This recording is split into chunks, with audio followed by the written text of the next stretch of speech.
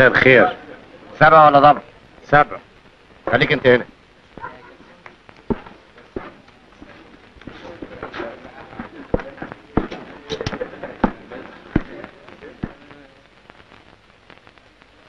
كام؟ 3600 جنيه. سلمت البضاعة لمين؟ لأبو الدهب. والطلبية التانية هيطلبوها إمتى؟ إذا كان عليهم هم مستعجلين لكن مكتب المخدرات مفتح عينيه قوي. حد شافك وانت جاي؟ ربنا ستر. أبو الدهب مكلفني بلغك رسالة. أهو يا عبد الحسن ميمي قاعدة لوحدها.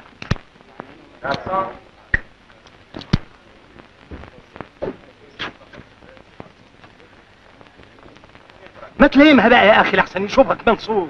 منصور؟ منصور ده إيه؟ منصور جوزها منصور الشرقاوي.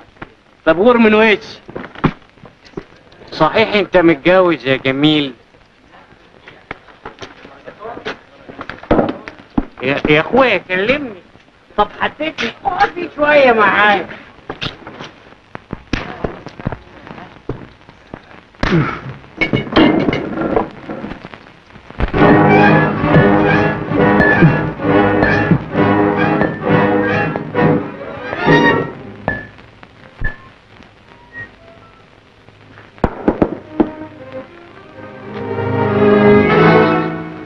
أنت. أنا هكلفت الحكاية وحصلك.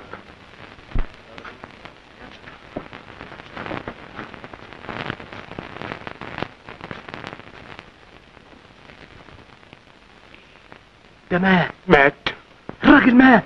وايه العمل دلوقتي؟ يلا بينا قبل البوليس ما يجي. عندك حق. مين يقدر يشهد على منصور الشرقاوي؟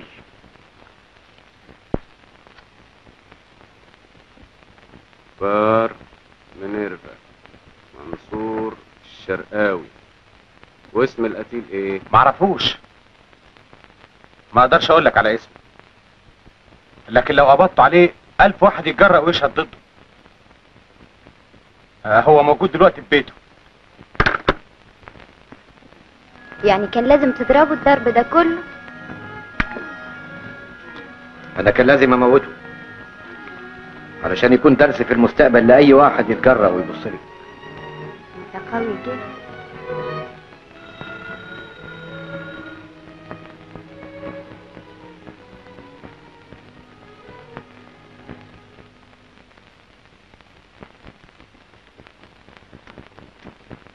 مالك بتنهك كده ليه الراجل مات.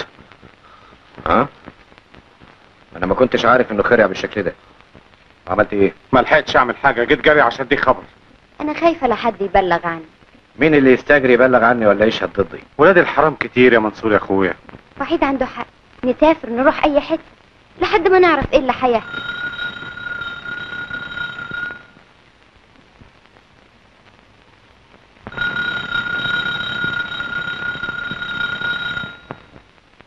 شوف مين يا وحيد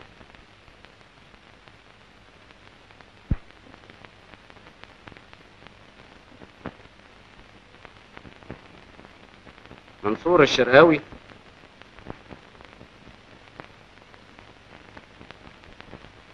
أنا يا فندم منصور. يلزم خدمة؟ تسمح تيجي معايا؟ خير أنا متهم بجريمة قتل. قتل؟ مين اللي قال الكلام ده؟ دلوقتي تعرف كل حاجة. أنا بنفذ أمر النيابة. غريبة قوي الحكاية دي. إيه؟ الجرح بيوجعك؟ تسمح لي أغير هدومي؟ طبعا. فين أوضة النوم؟ اتفضل.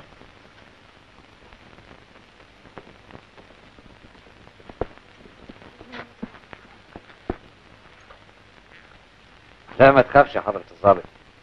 ما أقدرش أهرب هنا من تاسع دور. لا ده بس من باب الاحتياط. مراتي والأستاذ وحيد تسمح يكلموني هنا شوية صغيرة؟ ما عنديش مانع بس اسرع شوية من فضلك. حاضر. بس بس باش كلام فارغ. الحكاية كلها ضربة أفضى إلى موت. يعني سنتين ثلاثة سجن. ثلاث سنين؟ أتحرم منك ثلاث سنين. أخ بس لو أعرف مين اللي بلغ عني. أنا هنتقم لك يا منصور. مش هستريح ابدا إلا لما آخد طارق. بس سيب لنا الحكاية دي. خلي بالك أنت من مين؟ أنت إيدي اليمين. أنت صديقي وأكتر من أخويا. وصيتك مراتي يا وحيد. ميمي أمانة في إيديك. حافظ عليها. أوعى حد يقرب لها. الحاجة الوحيدة اللي هتطمني في سجني وجودك وياها. أنا ماليش في الدنيا غيركم. مراتي صديقي.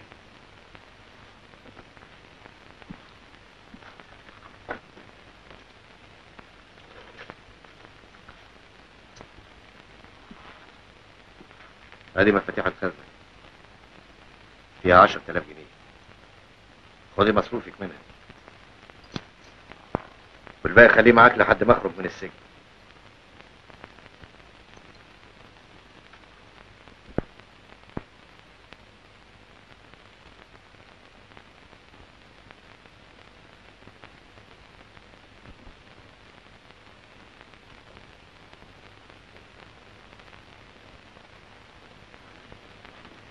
أنا جاهز يا حضرتك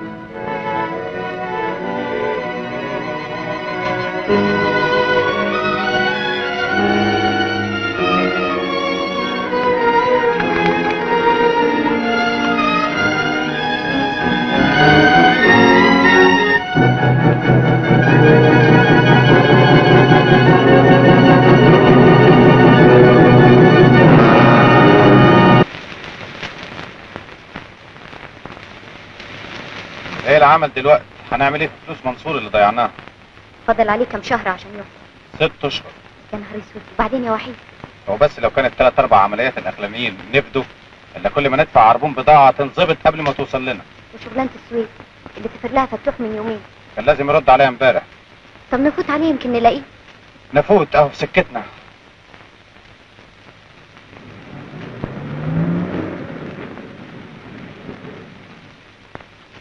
خليك انت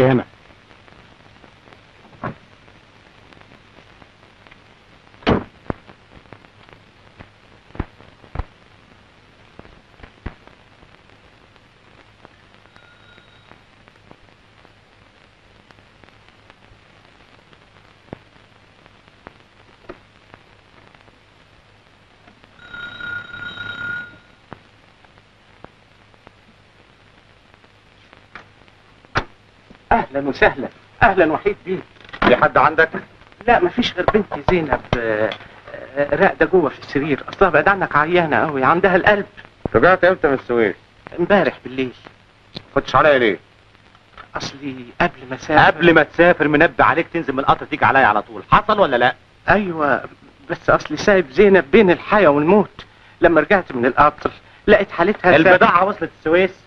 والله البوليس قبض على الرجالة وهم بيعدوا بيها الأنال. يعني إيه؟ مفيش عملية واحدة تتم وأنا ذنبي إيه بس؟ أنا راجل أودي أخبار وأجيب أخبار.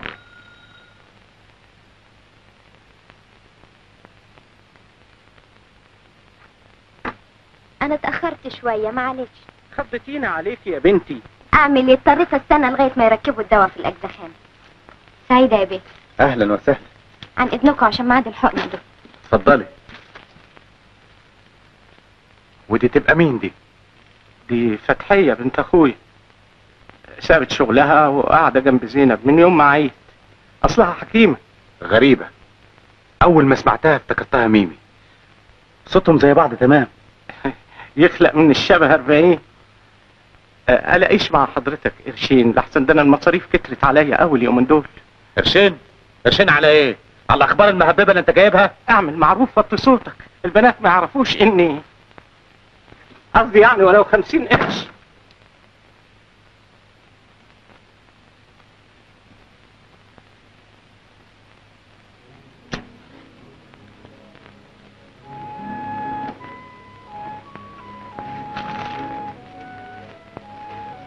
الضيف خرج يا عم؟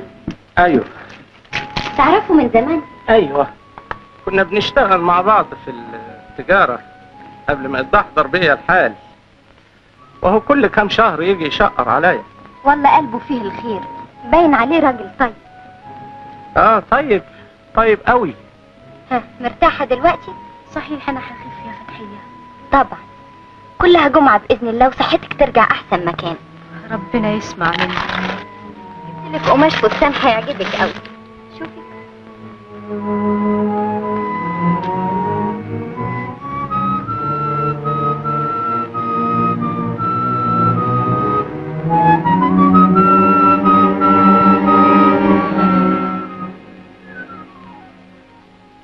ولا كلمة هقوم أجيب لك دواء الشرب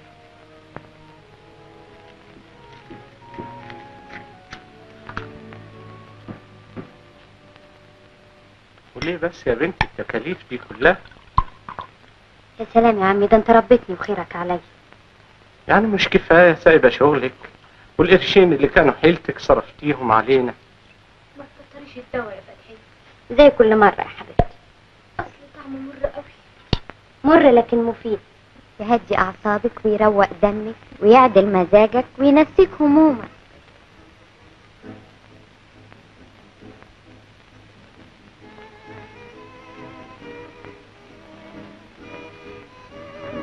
خد يا حبيبي.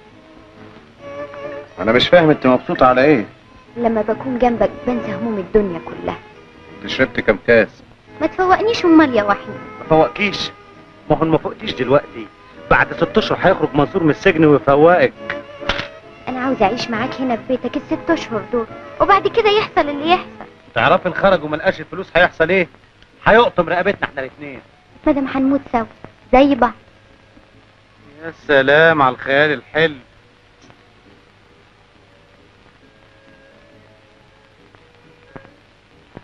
بقى ده عدل ده يا ناس خلاص مفيش انصاف في الدنيا دي. في إيه يا حبيبي؟ اسمعي يا ستي. يصل غدا قادما من أمريكا الوجيه جلال أدهم بعد غيبة دامت ستة أعوام ليتسلم الميراث الذي تركته له عمته المرحومة دولة هانم أدهم التي تبلغ ثروتها أكثر من نصف مليون جنيه. والمعروف أن دولة هانم كانت تقتني مجموعة ثمينة من الجواهر يقدرها العارفون بأكثر من 200 ألف جنيه. طب وأنت إيه اللي مزعلك؟ اللي مزعلني إن الأستاذ جلال كان صاحب الروح بالروح. كان في كلية الزراعة حتة تلميذ سنكوح لا راح ولا جه يقوم يسافر أمريكا ويكمل علومه وأنا أفضل في الكلية وأترفد لحسن السير والسلوك. هو عمته تموت ويبقى مليونير وأنا ربنا يخلقني لا عم ولا خال وأفضل كده شحات. بدل ما تتشال وتتحط كده روح ادخل في زواريق واشتغل عليه. مش بتقول كان صاحبك؟ اشتغل عليه وانت موجودة؟ اسمعي أنا هقابله الأول لوحدي وبعدين أبقى أعرفك بيه. بكرة من نجمة هستناه في المطار.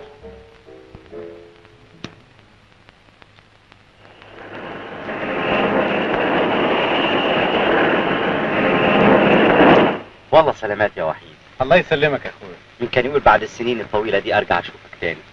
ده من حسن حظي. ده أنا اللي حظي كويس اللي لقيت صديق زيك لسه فاكرني. أنا بعد وفاة المرحومة عمتي أصبحت وحيد في الدنيا لا أهل ولا معارف. ما تقولش كده يا جلال. اعتبرني زي أخوك بالظبط. وأي حاجة تعوزها أنا تحت أمرك. أشكرك يا وحيد. أرجوك تعتبرني أنا كمان أخوك. ربنا يديم المعروف. ما قلتليش إيه أخبارك؟ عال الحمد لله. وإزاي أحوالك المالية؟ مفيش أحسن من كده بقى. ربنا يزيدك. الله يحفظك. إلا بالحق هو البيت فين؟ أنا ما عنديش بيت في مصر. هقعد يومين في اللوكاندا لحد ما أسافر العز. وناوي تقعد في العزبة على طول؟ إن شاء الله بس بعد ما أتجوز. تتجوز؟ وتتجوز ليه؟ زي ما قلت لك ما بقاش حد فاضل في العيلة غيري. يعني لازم ابتدي أكون العيلة من جديد. وحاطط عينك على مين بقى؟ ولا حد. أنت عارف أنا بقالي ست سنين غايب عن البلد وما أعرفش حد ابدا. طبعا عاوز تتجوز واحدة غنية. لا ابدا. أنا عايز أتجوز أخلاق. الفلوس مش كل حاجة في الدنيا يا وحيد. طبعا طبعا. فلوس إيه وبتاع إيه؟ ما تيجي تعشى معايا الليلة. ارجوك تعافيني الليلة. أنا تعبان قوي عاوز أنام بدري. طب أنا هسيبك الليلة إنما بكرة مالكش عذر. ده أنا اللي هلزق لك لأن ما أعرفش حد ابدا. أنا دايما هكون تحت أمرك.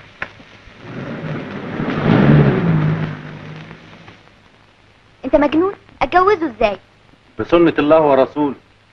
يعني اطلق منصور؟ ومين قال لك تطلقيه؟ امال اتجوز اتنين. عاوز توديني في داهية؟ هو أنا برضه خلصني. انت هتتجوزي جلال بعد ما تغيري اسمك وتاخدي شخصية تانية. هتقعدي معاه بالكتير جمعة اتنين ويخرج منصور يلاقيكي مستنياه في البيت. ولا من شاف ولا من دري. وبسلامته عريس الغفلة. هنخلص منه إزاي؟ أنا عامل ترتيب كل حاجة. المهم دلوقتي نفكر إزاي هتتجوزيه. هو ليه شوية طلبات؟ اولا عاوز مراته تكون أخلاقها كويسة. وأنت أخلاقك يعني؟ الأخلاق ممكن تتصلح مؤقت ثانيا عاوز مراته تكون حشمة الدكاكين مليانة فساتين حشو ثالثا لازم تكون من أصل طيب. أظن ده بقى مش ممكن. الشهادة لله أنت أصلك واطي قوي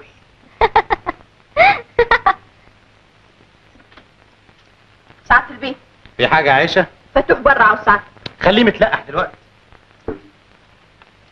أنا رأيي ما دام المسألة فيها جواز يبقى لازم يشوفك من غير ما أعرفه عليك. يعني الحكاية تيجي طبيعي. اسمعي أنا عازمه الليلة على العشاء. تروحي تشتري فستان حشمة وتيجي الحفلة. هحجز لك الترابيزة اللي جنبنا. هو معقول بنت حشمة تخرج لوحدها؟ آه عندك حق. على الأقل لازم أبوها يكون معاها. ويا سلام لو كان باشا. وهنجيب الباشا منين كمان؟ يا عائشة دقيقة واحدة يا عائشة دقيقة. يا وحيد بيه أنا وقعت في عرضك. بنتي تعبانة أوي ولازم أشتري لها حقن. اتنين جنيه بس اتنين جنيه. يا سلام. أنت معذور للدرجات يا سعادة الباشا. باشا. بقى أمين باشا حامد سليل المجد والشرف ابن الحسب والنسب عين أعيان البحيرة. معهوش اتنين جنيه. لا لا لا سعادة الباشا أنا ما يخلصنيش ابدا. خد أدي عشرين جنيه. كتر ألف خيرك. سلام عليكم. تعال هنا. رايح فين يا سعادة الباشا؟ ألحق أجيب الحقن. تجيب الحقن يا سعادة الباشا وتشتري بدلة غامقة على قد. تستحمى كويس يا سعادة الباشا وتيجي هنا الساعة 8 عشان هتروح الحفلة مع بنتك كريمة هانم أنا أنا أنا أنا مش فاهم حاجة أبدا. أما تيجي الساعة 8 هفهمك على كل حاجة. مع السلامة يا سعادة الباشا. بوس ايد بابا يا كريم. مع السلامة يا بابا. أنا شايفة حكاية باشا دي كتير قوي عندك حق. يا سعادة الباشا أفندم. أنا شايف إنك تكون به أحسن. إيه رأيك؟ والله إيه اللي يريحك بقى؟ أنا على العموم كده كويس أوي. سلام عليكم بقى.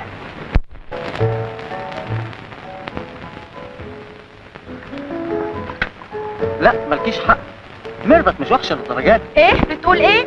طب دي طول كده وتخني كده أهو. حسبي حسبي. أوه pardon يا بيه أنا متأسفة جدا. عارفة يا فندم.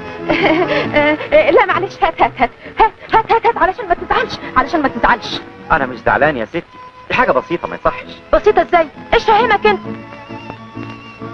اتفضل متشكر قوي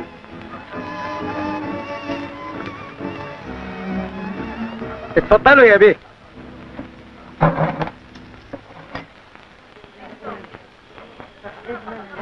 ثلاثة جيلاتي من فضلك. حاضر يا بيه. اتنين ويسكي من فضلك. حاضر يا بيه. يا مطربين يا مطربات يا رقاصين يا رقاصات يا موجودين ويا موجودات. والسيدات هقول لكم عالفن من خمسين سنة. أشرح لكم الرقص طبعا والغناء. نحيف القوام.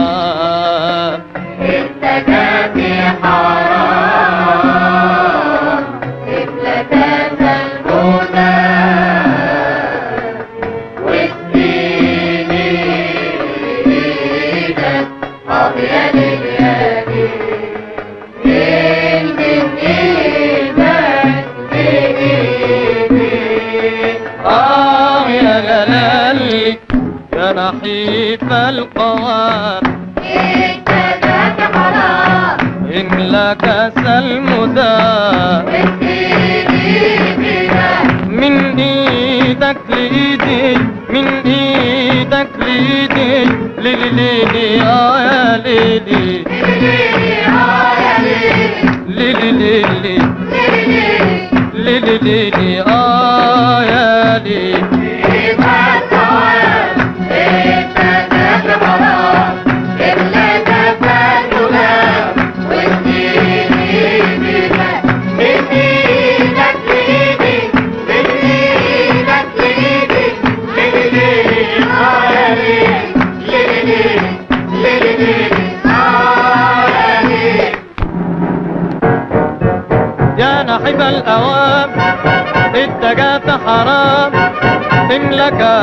زمنا وسيني بيدك من إيدك ليدي ام يا ليلي ام يا عيني ليلي ليلي ليلي ليلي ليلي ليلي ليلي ليلي يا نحيب الثواب انت في حرام انت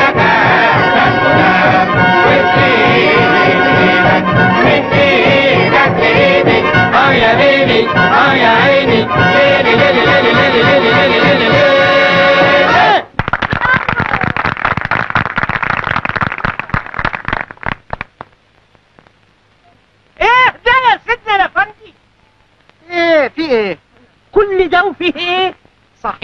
إذا لم تستحي فاصنع ما شئت. إيه الحكاية؟ طب وأنت مالك ومال؟ ده أنا من الصبح قاعد على نار. بقول يمكن يختشوا يمكن يتكسفوا على دمهم. لكن صحيح برقع الحياة انشال خالص. خلتوها خل. أنا مش فاهم أنت بتتكلم على إيه؟ يا أفندي يا مهذب. إذا بليتم فاستتروا. ناس معدومين الإحساس. مفيش أدب مفيش أخلاق. يا سعادة البيت. اسكت انت من فضلك. قومي بينا يا كريمة. قومي يا عائشه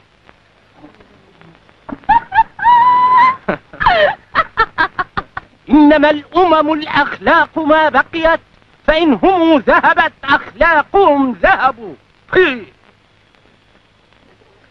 ابسط يا عم آه خلص دكتورك أنا معجب بيه جدا. هو راجل معقول لكن بنته نكتة خالص. ليه؟ عشان قاعدة ساكتة؟ واحدة مؤدبة يا أخي. مش للدرجة دي يا جلال. دي عينها ما اترفعتش من الأرض. صوتها ما طلعش خالص. يا ريت كل أب يربي بناته بالشكل ده.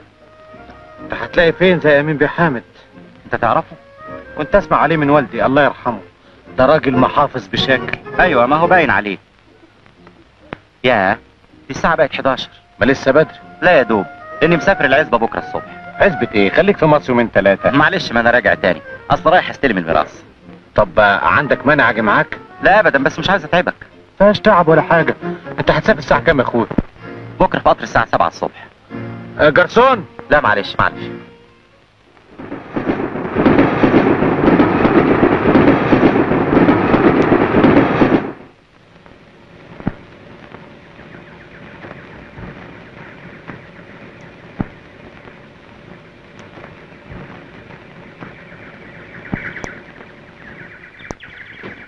الحمد لله على السلامة يا سعادة البيت. الله يسلمك. نورت العزبة يا سعادة البيت. ألف حمد لله على السلامة يا سعادة البيت. ازيكم يا رجالة مبسوطين؟ بوجودك يا بيه الله امال فين ابويا ياسين. قرب يا حاج ياسين سلم على البيت. إزيك يا ابويا ما تاخذنيش يا ابني العتب عن النظر. لا سلام. آه الله يسلمك من كل رضي يا ابني. قول لي هو عايش إزاي دلوقتي؟ على فضل كريم. مش لسه عنده القراطين اللي شرق الترعه لا والله باعهم علشان يعمل عملية في عينيه. لا حول ولا قوة إلا بالله. الدنيا ملهاش أمان صحيح. اسمع يا حسين افندي اعمل لهم هي خمسة جنيه وكل يوم الأكل يطلع له من السرايا. ربنا يقدرك على فعل الخير يا جلال بيه. سعادة البيه مندوب الحكومة مستنظر جوه عشان يسلم سعادتك الخزني. طب أنا جاي حالا.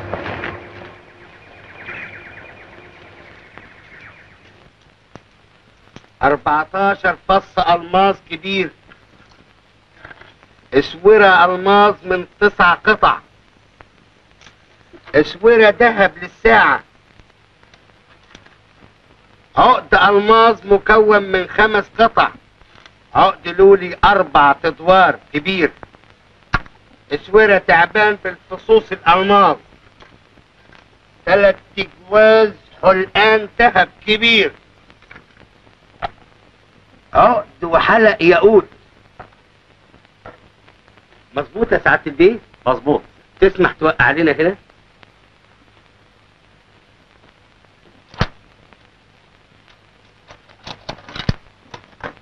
اتفضل يا سعادة البيه. متشكر. اتفضل الكشف شكر تسمح لي بقى يا سعادة البيه؟ ما تستنى ما تتغدى معانا. والله عندي أشغال كتيرة تانية. عن إذنكم. مع السلامة.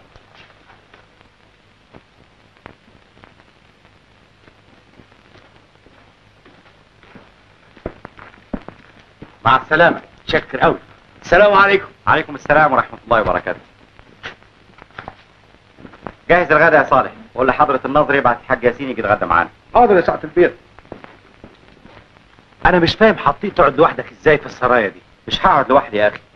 أنا مش قلت لك إني هتجوز. وهتلاقي فين البنت اللي ترضى تعيش في الفلاحين؟ بنات الأيام دي مش بتوع كده. أهو اللي يدور يلاقي. بنت زي اللي شفناها امبارح مثلا. قصدك مين؟ بنت الراجل اللي اتخانق في الحفل. آه. بنت أمين بيه حامد يا شيخ انت راخر. دي دقة مصطفاوي قوي. أهو المصطفاوي ده اللي أنا عايزه.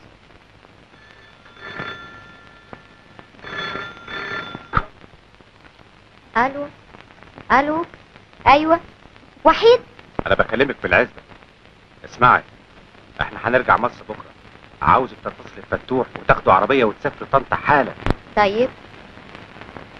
مفهوم مفهوم. القطر هيقوم من عندكم الساعة 9 الصبح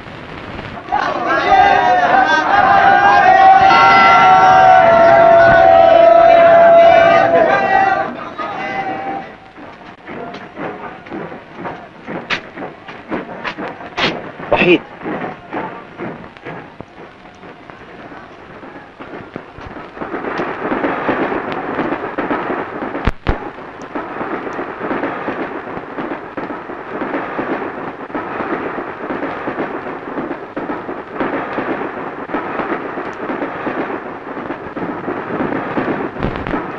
تسمح لي ادخل سيجاره يا سعاده البيت. اتفضل. اتفضل سيجاره متشكر. يا سعاده البيه سعاده البيه فندم آه، تسمح لي أقدم لك نفسي؟ أهلا وسهلا أهلا وسهلا. أنا وحيد كامل. ابن المرحوم كامل بيه سالم. أهلا وسهلا أهلا وسهلا. آه، سعادتك مش فاكر والدي. متاسف إزاي يا سعاده البيه بالعافيه يا ابني قلت لك ما اعرفوش. كامل بيه سالم المهندس اللي بنى لسعادتك الفيلا في العزبة. آه كامل بيه المهندس. طب يا أخي مش تقول كده من الصبح. ده أنت ابن أصل ابن أكابر. الله يرحم أبوك يا شيخ. ها وحضرته يبقى أخوك؟ آه لا يا فندم أنا أبقى صاحبه. آه، حضرته جلال بيه أدهم من عيلة أدهم بتوع القلوبيه الله الله الله الله. ابن المرحوم مراد باشا أدهم. هو سعادتك كنت تعرفه؟ عز المعرفة. ده أنا كنت هبيع عزبتي علشان أشتري أرض جنبه. هي وإزاي حال الست عمتك؟ بخير؟ الباقيه في حياتك من أربع أشهر دلوقتي. ده دي. لا حول ولا قوة إلا بالله. أنا أصلي كنت عيان وما بقراش جرايد دي كانت ست أميرة من عشر سنين تقريبا. كان عجبها بروش ألماظ كان عند المرحومة الست بتاعتي. قامت اشتريته بأربعة آلاف جنيه. حكم الله يرحمها كانت غاوية تقني جواهر. بالظبط يا البيه. لكن أبوك بقى الله يرحمه كان غاوي يقني كلاب. أهلا وسهلا. أهلا وسهلا أهلا وسهلا. والله فرصة سعيدة يا جماعة. أنا كنت في طنطا عند أخويا. اصله كان تعبان شوية فرحت أزوره أنا وكريمة بنتي. أهلا وسهلا. أهلا وسهلا أهلا وسهلا. على العموم إحنا اتشرفنا بمعرفه سعادتك قبل كده. فين يا ابني؟ أول امبارح في الحفلة اللي أعوذ بالله ما تفكرنيش ما تفكرنيش. أنا أهني سعادتك على الموقف المشرف. دي قلة أدب دي مسخرة. فعلا يا سعادة البيه الستات اللي بالشكل ده عار على المجتمع المصري. جلال بيه رغم إنه متعلم بره لكن في الحاجات دي محافظ جدا. أهلا وسهلا أهلا وسهلا. أكون ممنون قوي لو سمحت لي سعادتك ابقى أزورك في مصر. مفيش مانع يا ابني مفيش مانع. طيب تسمح تديني العنوان؟ عنوان؟ عاوز العنوان؟ اما مالكش حق يا جلال. في حد ما يعرفش عنوان أمين بيه حامد؟ اعذرني أمين بيه أصل بقالي مدة طويلة غايب عن مصر. آه، جلال بيه كان في أمريكا بيدرس زراعه عنده دكتوراه.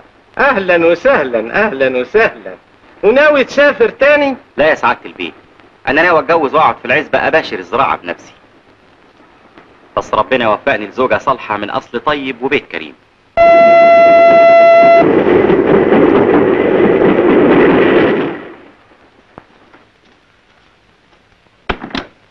ميم مبروك يا ميم. إيه الحكاية؟ خلاص الجردل طب. عاوز يخطبك. بذمتك؟ طلب مني النهارده أتصل بأمين بيه حامد. بابا؟ شوفي بقى يا ستي علشان نسبق المسألة لازم نأجر بيت شيك وخدم وحشم وعربيات وحكايات. بس مسألة الجوازة دي تتم في قد إيه؟ بعد شهر ده مستعجل قوي. أنا خايفة يا وحيد.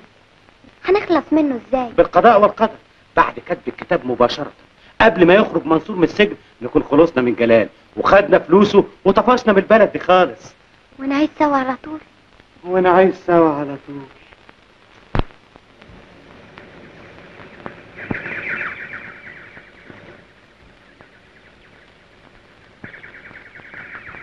سعادة البيه موجود. أيوه يا فندم. اتفضلوا.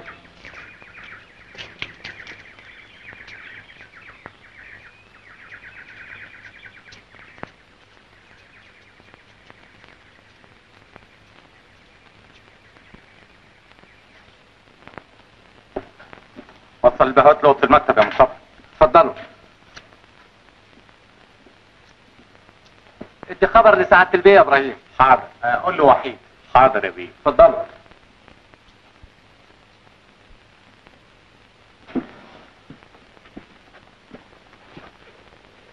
ربنا يجعل في وشنا القبول.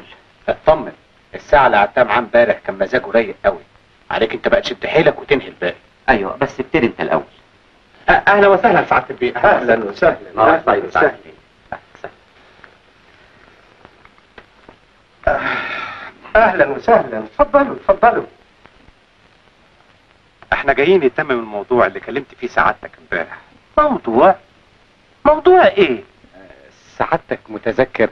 ان أنا قلت لسعادتك آه، إن جلال بيه آه آه آه آه. أنا يكون لي الشرف العظيم يا سعاده البيه بس أحب أفهم على أي أساس اخترت بنتي بالذات؟ على أساس إنها من عائلة كريمة وأصل طيب مش عرفك يا سعاده البيه دي حاجة واضحة خالص. واضحة؟ واضحة إزاي؟ انت قابلتها قبل كده؟ كلمتها قبل كده؟ أنا شفتها مرتين مع سعادتك إنما ما جاتنيش الفرصة إني أكلمها. يا سعادة البيه دي مصر من كلها فضلك. لا قابلتها ولا كلمتها. منين تعرف إن طباعها هتوافقك؟ يا سعادة البيه أمرك عجيب يا أخي. وأنت اللي هتتجوزها؟ يا بيه أنا من رأيي إن مسألة الطباع والحب دي تيجي بعد الجواز مش قبله. المهم إن الإنسان يختار زوجته على أساس الأخلاق الكريمة والأصل الطيب. مش رأيك كده برضو ولا إيه يا سعادة البيه فعلا. جواز الحب مفسدة وأي مفسدة. أنا أعرف شاب خطب بنت خمس سنين وكل يوم مقابلات وحب واستلطاف. تعرفوا النتيجة كانت إيه؟ اتجوز أمها. آه لا جلال بيه ناوي إن شاء الله يخطب ويتجوز على طول. على طول؟ على طول إزاي؟ هي العبارة قفش؟ سلق بيض؟ مش لازم أسأل عليه الأول؟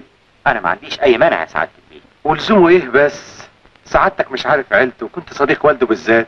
آه آه أهلا وسهلا أهلا وسهلا. أهلا بيك يا سعادة البيه مبروك يا سعادة البيه ألف مبروك ألف مبروك. مبروك على إيه؟ إيه الكلفاتة دي؟ مش لازم ناخد رأي البنت اولا؟ البركة في سعادتك. أنت مستعجل على إيه؟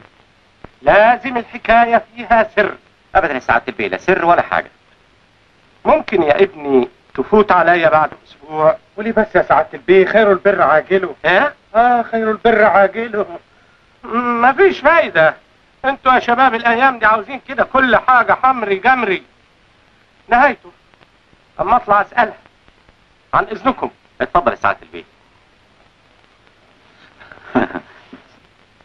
يا إبراهيم؟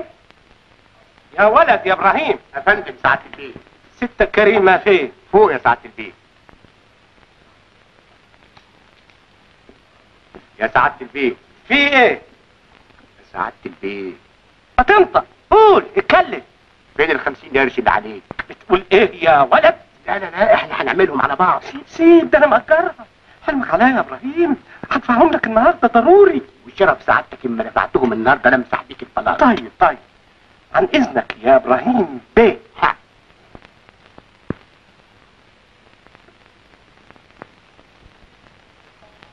اف أعوذ بالله الفستان ده هيخنقني. طولي بالك الشغل عاوز كده.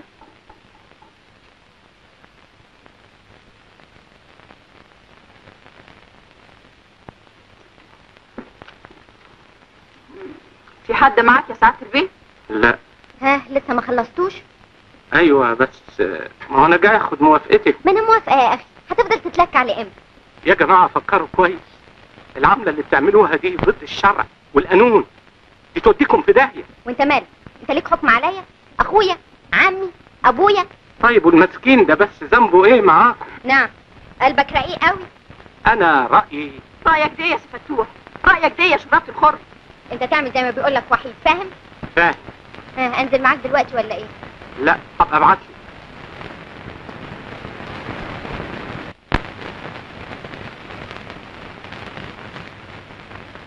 يا ترى البيع عمل إيه؟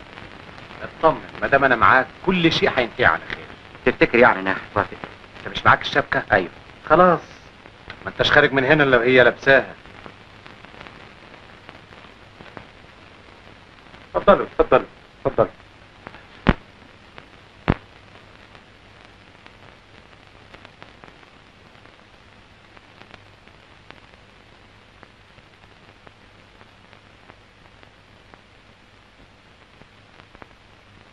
يا ترى يا سعاده البيه سبع ولا ضبع نعم.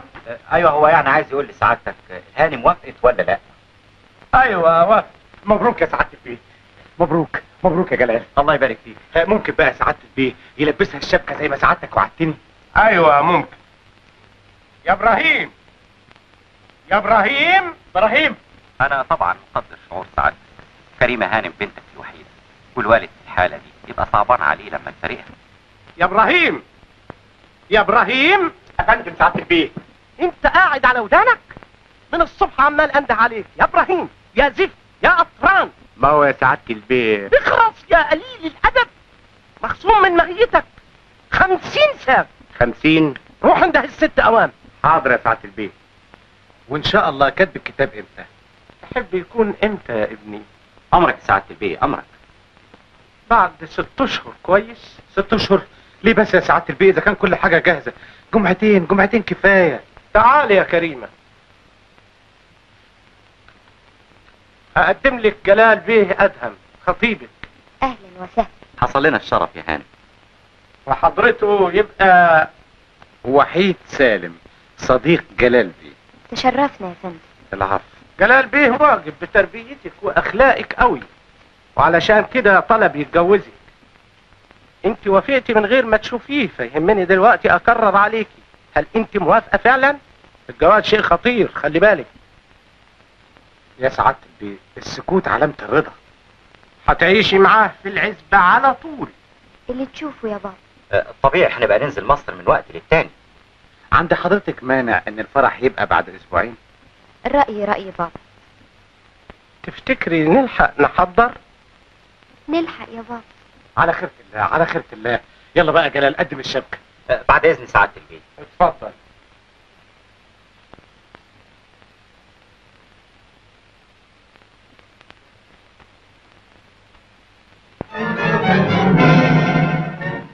أما حتة اسورة يا وحيد. ولسه أنت شفت حاجة؟ وبسلامته لسه في العزبة؟ أيوه يا ست بيحضر للفرح. اخصى عليك. وهتسيبه يكتب عليا. مش هو اللي هيكتب ده المأذون. هو مش هيتهنى ما قلتليش. هنخلص منه إزاي؟ شوفي بقى يا ستي بعد كتب الكتاب ينسق الشربات والستات تزغرط والفلاحين تضرب رصاص في الهوا. رصاص؟ عندك مانع رصاصة منهم تغلط وتيجي في العريس؟ قصدك إيه؟ هتقتله؟ في ليلة دخلته.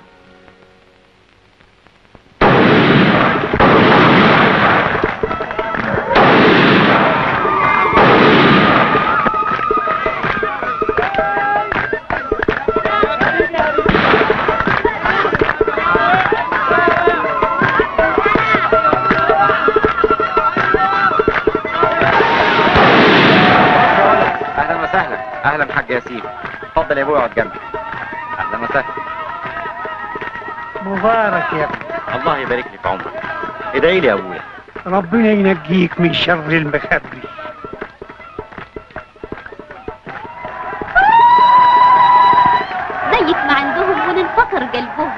ولو جاب أبوك يبيتوه عندهم وان جاب أمك تحبل وتولد لهم ما يجيبوا زيك يا ست الكل. وأنا رحت للحلوان.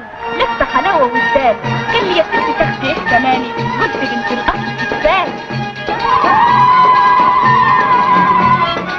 يا منجي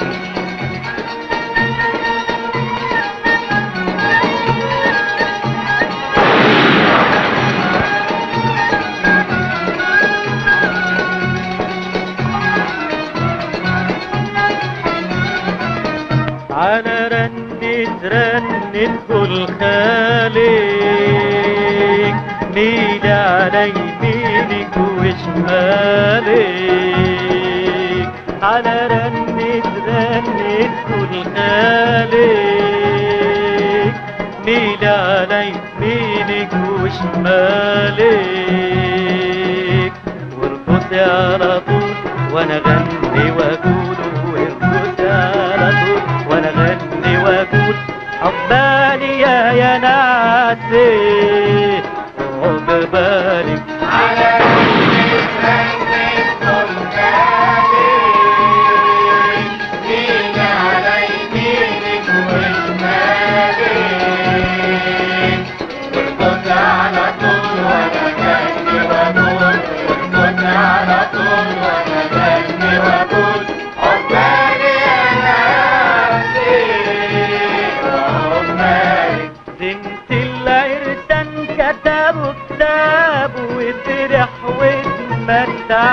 بشبابه بنت العرسان كتبوا كتاب وفرح واتمتع بشبابه ربنا يحميه بكرة هندعيه آه ربنا يحميه بكرة هندعي في فرحنا وديني بقولها.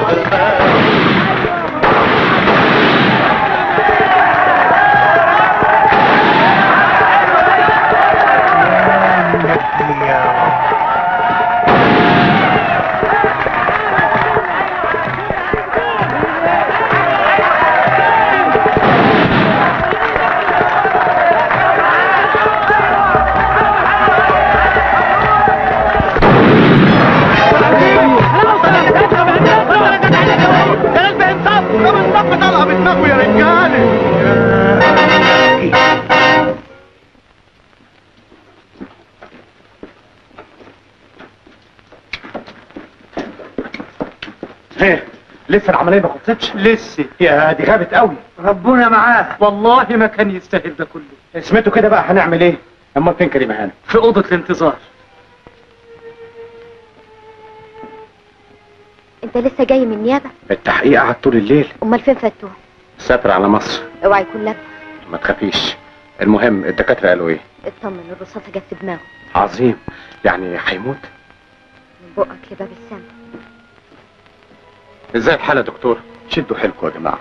مات لا يا هانم ما ماتش لكن للأسف حدث نزيف بعد الإصابة والنزيف عمل كيس دم ضغط على أعصاب العين ففقد بصره. عمي جلال عمي يا وحيد. يا هانم احمد ربنا ان إحنا أنقذنا حياته دي إصابة قتلة. وتفتكر هيفضل أعمى على طول. ممكن بعد مدة يتعمل له عملية. وسواء كيس الدم انفجر بعملية أو بأي سبب تاني هيخف الضغط عن أعصاب العين ويفتح بإذن الله. أه، قول لي يا دكتور.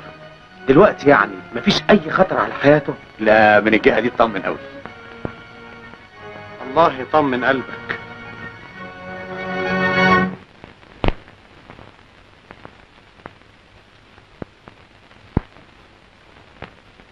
أنا دلوقتي بالدفع. إيه اللي مضايقك؟ النيابة وحفظت القضية ضد مجهول. مجهول ولا عفريت؟ ازرق أنا دلوقتي على ذمة اتنين. واحد في السجن والتاني أعمى.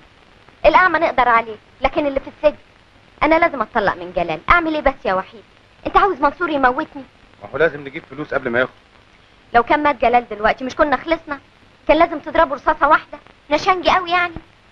اسمعي جلال هيخرج بكرة من المستشفى. المفروض انه يجي يقعد في العزبة. أنا هعرض عليه يقعد في مصر في بيت أمين بيه. أبوك يعني. أقنعه إنه ده من مصلحته علشان يبقى قريب للدكاترة. بالطريقة دي هيبقى تحت رحمتنا. وهم الخدامين كلهم مننا وعلينا. المرة دي المأمورية هتبقى سهلة قوي لأنه أعمى. هنقتله بطريقة ما تخليش حد يشك فينا أبدا.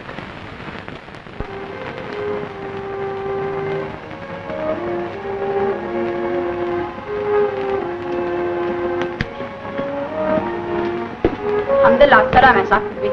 الله يسلمك. ازيك يا عيشة؟ الله يسلمك. امال فين امين بيه سافر طنطا. اصل عمي عيان قوي لا بأس عليه أنا هطلع أوضب أوضتك وأرجع حالا يا جلال ميرسي يا كريم.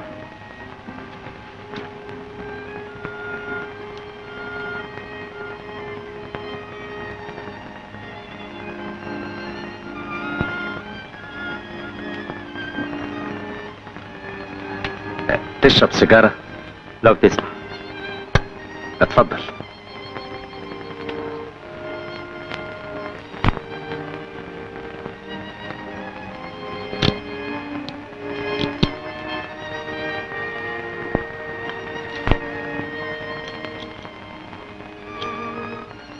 أنا عايز اخد رأيك في مسألة يا وحيد.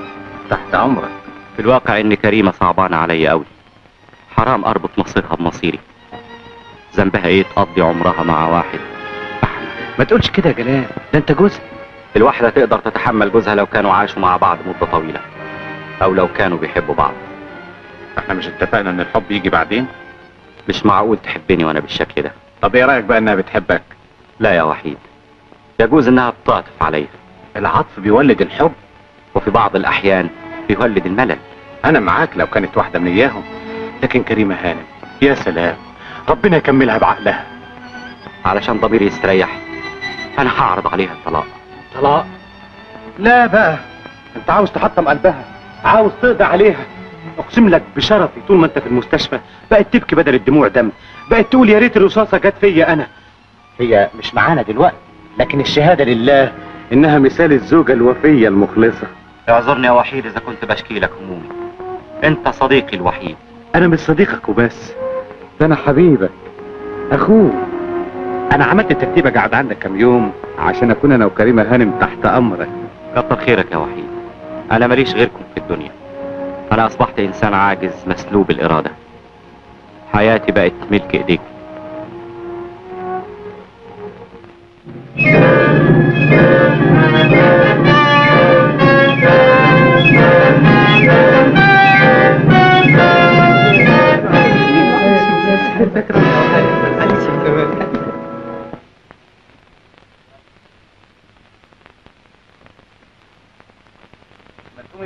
الساعة بقت تسعة. لسه بدري. لا مش بدري. النهارده لازم نخلص من جلال. النهارده؟ أيوه. أنا عملت ترتيبي خلاص. تروحي تصبحي عليه وتمثلي الحب والإخلاص. أوعي تنسي اللي اتفقنا عليه. أنا هسبقك على هناك وأنت تحصليني.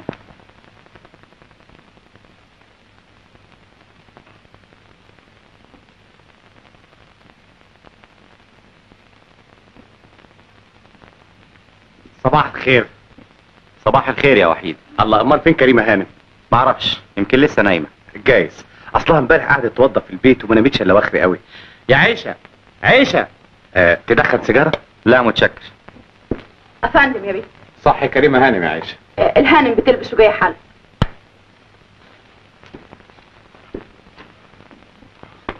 ما كنت تخليها على راحتها يا وحيد؟ اسمع بقى أنا ما بفهمش ابدا إن عريس وعروسة يفضلوا كده كل واحد منهم في ناحية. ثم إيه المناسبة يا أخي إنك تحبس نفسك في أوضتك ليل ونهار. يا وحيد أنا مش عايز أضايق حد. واللي فيها مضايقة؟ قول لي. أنت فطرت لا لسه. عال. نفطر بقى النهارده كلنا في الروف. أما في حتة جنينة في السطوح. يا أول مرة أسمع إن فيه جنينة في السطوح. دي هتعجبك قوي. أما حتة منظر إنما على كيفك. منظر؟ وأنا هعمل إيه بالمنظر يا وحيد؟ أنا آسف. آسف قوي يا جلال. لكن مش لازم تفكر في نفسك بس. فكر في مراتك. انت لسه امبارح كنت بتقول لي ذنبها إيه إنها تعيش معاك العيشة المقبضة دي. انت مش لازم تشعرها ابدا إنك حاسس بالحالة اللي عندك. ثم ما تنساش يا جلال إنها عروسة جديدة عاوزة تنبسط وتفرح. هو أنا متأخر. ما هو بقول لك نفطر في الروف بتقول لي لا. حاضر يا سيدي. نفطر في الروف. وقبل ما تيجي كريمة هانم هخليك تحفظ السطوح حتة حتة علشان ما تحسش انك أنا مش عارف أشكرك إزاي يا وحيد. تأكد إن ربنا هيكافئك على أعمالك. صباح الخير. صباح الخير. صباح الخير. أنا متأسفة إذا كنت صحيت واخري أوعى تكون زعلان مني. لا إزاي؟ أنا أزعل منك؟ لو كنت عارفة إنك بتصحى بدري كده. كنت على الأقل أساعدك في لبس هدومك. إبراهيم جه ساعدني. أنا نبهت عليه امبارح. ارجوك ما تتعبيش نفسك. يا ترى حضرتك فطرتي طبعا لا. أنا كنت جاية أفطر مع جلال عند حضرتك مانع نفطر كلنا في الروف؟ والله فكرة كويسة.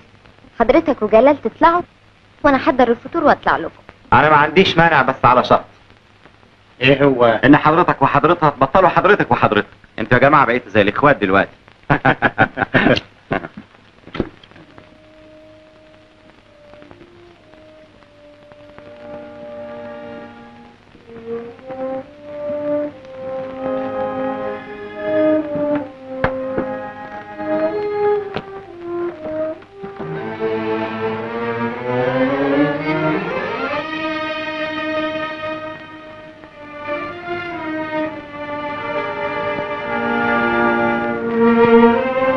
وصلنا يا سيدي. على شمالك كنبة واتنين فوتين. تعال معايا. قدامك سلم ثلاث درجات.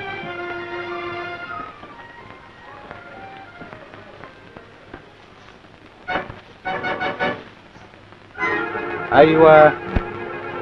تعال لوحدك بقى. لا امشي لوحدك عشان تتعود. حاسب. قدامك ترابيزة صغيرة. استنى. عندي هنا قعده لطيفة قوي. أنا جنبها بالظبط. هي على يميني. عاوزك تيجي قصد يميني بالظبط. تعال. تعال. أيوه. تعال ما تخافش. هي على يميني تمام. أيوه كده. كمان. ما تخافش. كمان. أيوه. كمان خطوتين. صباح الخير يا جماعة. أهلا أمين بيه. الحمد لله على السلامة. الله يسلمك يا ابني. اتفضل. اقعد. استريح اقعد. إيه اللي جاب سعادتك دلوقتي؟ والله حكاية كده ما كانتش في الحسبان. خير.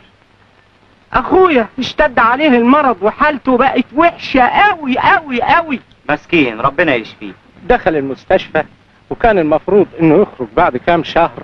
أم بكل أسف خرج امبارح. خرج إزاي؟ من غير ما يكمل علاج. اللي حصل واللي طالع عليه. عاوز ميمي عاوز ميمي. ميمي؟ آه يعني كريمة. ما هو بيدلعها بيسميها ميمي. الظاهر إنه عاوز يشوفها قبل ما يموت. لا حول ولا قوة إلا بالله. سعادتك ما شفتش كريمة تحت. لا والله يا ابني أنا سألت الخدامين قالوا لي انكم فوق هي تحت بتحضر الفطار أما انزل استعجلها. خدني معاك يا ابني عشان أضرب تليفون للعزبة أطمن. عن إذنك يا جلال. اتفضل يا أمين بيه. اتفضل.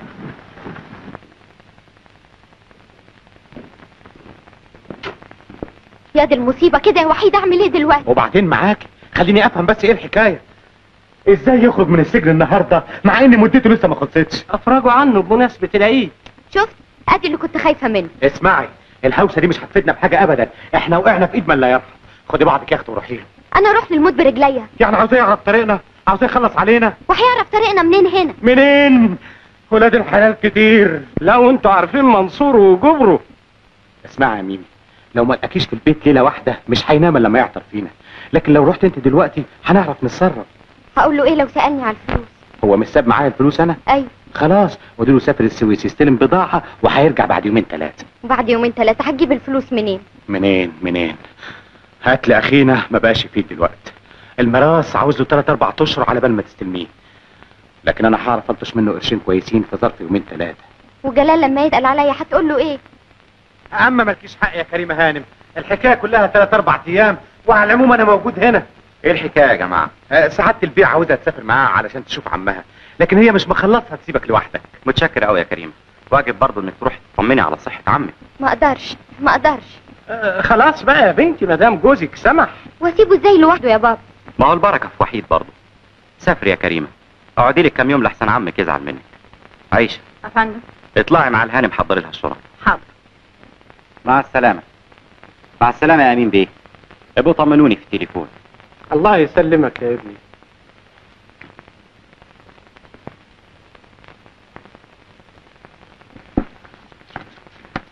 هو حد منكم فكر يجيني هنا؟ لو منصور عرف طريقي هيودينا كلنا في داهية. أنا هبقى أعرف أخبارك من فتوح. هفوت عليك كل يوم الصبح بدري. مع السلامة يا حبيبتي.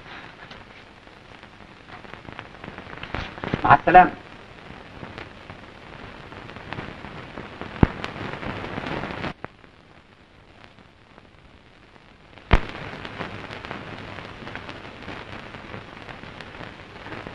يا سلام. الود ودها ما تتنقلش ابدا. مش هاين عليها تفرقك لحظة واحدة. الحقيقة أنا كنت مخطئ في شعوري نحوها. وحيد. تسمح تجيب لي نظر العزبة على التليفون؟ وعاوز إيه من نظر العزبة؟ كنت بفكر لما ترجع كريمة من السفر أفاجئها بهدية أعبر لها عن شكري واعترافي بجميلها. وإيه يا ترى الهديه دي؟ جواهر عمتي. ها؟ جواهر عمتك؟ كلها؟ هي تستحقها وأكتر أيوه أيوه أيوه. هي في الحقيقة تستاهل الهدية اللطيفة دي. هي تستاهل مال العالم كله. هي تستاهل كنوز الأرض. هي يا أخويا نمرة العزبة كام؟ 63 أيوه. آه، ترانك يا سلام يا سلام أنت في منتهى الذوق والكرم. ما تقولش كده يا وحيد. كريمة مهما كان الحال مراتي. جوزي حبيبي الحمد لله على السلامة. كنت فين لحد دلوقتي؟ كنت بزور واحدة صاحبتي. ومن إمتى بتزوري أصحابك الصبح؟ كنت فين؟ اتكلمي منصور. كنت فين؟ بقول لك مش عايزة تتكلمي ها؟ أنا هعرف أنت كنت فين. كنت بايته بره مش كده؟ اتكلمي بتشك فيا يا منصور. ده من يوم ما دخلت السجن بقيت زي المجنون. أقول فين منصور؟ فين حبيبي؟ فين الفلوس؟ فلوس؟ ال 10000 جنيه. أنا صرفت 3000 جنيه. وفين ال 7000 مع وحيد. وفين وحيد؟ سافر السويس يخلص على بضاعة وهيرجع بعد ثلاث أيام. مم. بقى الفلوس مع وحيد أيوه. وسافر على السويس علشان يخلص على بضاعة. أيوه. وهيقعد هناك ثلاث أيام. أيوه يا منصور.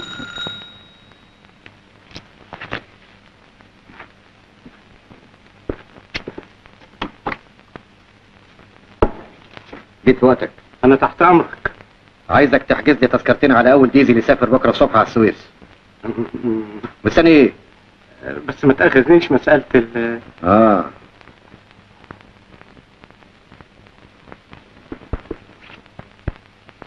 خد ادي خمسة جنيه. تجيب التذاكر ضروري الليلة ها؟ حاضر. السلام عليكم. سلام.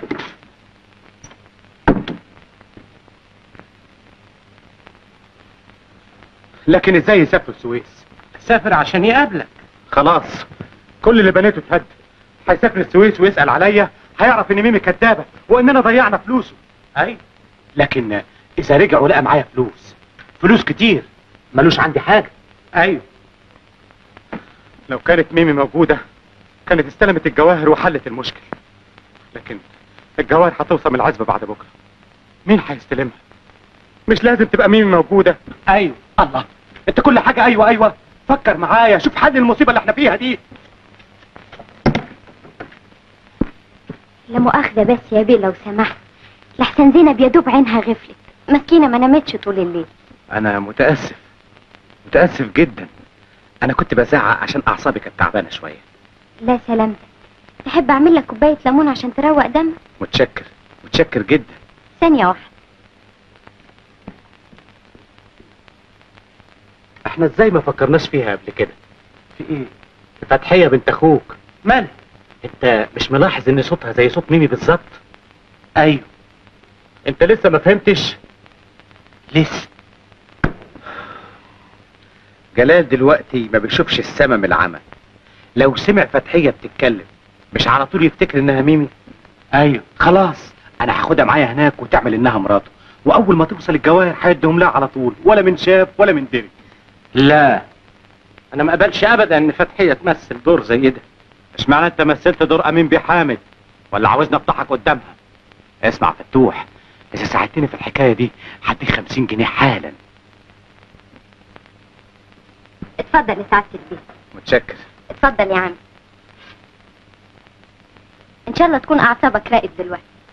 في الواقع أنا إنسان عايش بعواطفي أي خبر محزن بيأثر فيا. خير. إيه أنا ليا صديق عزيز عليا قوي من شهر تقريبا اتجوز. يوم كتب كتابه حصلت له حادثة عمي فيها مسكين. لكن يا ريت القدر اكتفى بكده. امبارح مراته سافرت علشان تزور عمها. وإذا بالعربية تنقلب في الطريق الزراعي وتموت. يا ساتر يا رب. كنت بحكي لعمك دلوقتي وأنا ساير على الدنيا على الأيام تصوري إنسان زي ده لو سمع الخبر ده يحصل له إيه؟ أكيد ينتحر. يا دي الغلب وهتعمل إيه دلوقتي؟ هتقول له إيه؟ والله ربنا كريم. وقبل ما بيبلي بيدبر. أنا إيه اللي جابني هنا النهارده؟ مقسوم لي أسمع صوتك. صوتي أنا؟ من حسن الحظ إن صوتك زي صوت مراته بالظبط. وكنت بقول لعمك فقال لي إن فتحية ما تتأخرش ابدا. ما تأخرش عن إيه؟ ارجوكي أتوسل اليكي انت حكيمة يعني أحن قلب وأرق إحساس. اعتبري صديقي ده مريض وشفاء على ايديكي طب وأنا إيه اللي هقدر أعمله؟ تيجي معايا وتقابليه على إنك مراته. مراته؟ يوم اتنين تلاتة بالكتير لغاية ما ألاقي الوقت المناسب وأبلغه خبر وفاته أنا خايف عليه قوي لا ينتحر وانت لما هتقول له بعد ثلاث أيام ما هو هينتحر برضه. أصلك ما انتش فاهمة. المفروض هيعمل عملية في عينيه بعد ثلاث أيام. فلازم نخبي عليه لغاية ما يعملها. وضروري من وجود مراته جنبه يوم العملية. ده انت بالك ثواب عند ربنا. إيه رأيك يا عم؟ ما هو عمك صاحب الفكرة. لكن زينب مين هياخد باله منها ما أقدرش أسيبها لوحدها. أنا مستعد أجيب بدل الممرضه أربعة. أجيب أحسن حكمه في البلد. أدي خمسين جنيه مؤقت مصاريف الدكاترة. ها، أنا هسبقك على هناك وأفهم الخدامين. وتحصليني أنت وعمك. لكن مش بس أعرف المرحومة دي كانت بتمشي إزاي بتاكل إزاي. أنت نسيتي ان جلال أعمى. أيوه لكن افرض سألني عن حاجة ما أعرفهاش اقوم اتلبخ عندك حق. شوف يا ستي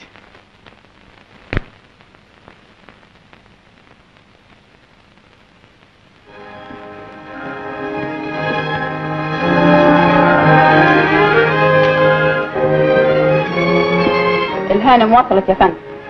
كريمة وصلت فين؟ بره يا فندم. أهلا وسهلا كريمة هانم. آه الحمد لله على السلامة. تعال تعال. أجي فين؟ تسلمي عليه. أول ما تخش اتكلمي علشان يسمع صوتك. هقول له إيه؟ قولي له مساء الخير يا جلال. من غير بيه ولا حاجة؟ بايه ده جوزك.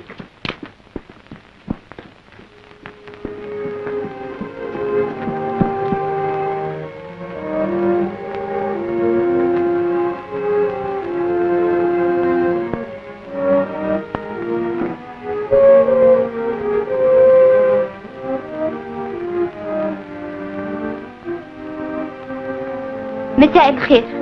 كريمة. الحمد لله على السلامة.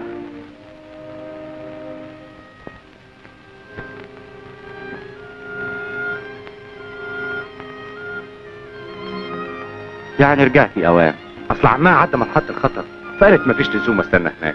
وحشتيني يا كريمة. أنت اللي وحشتني.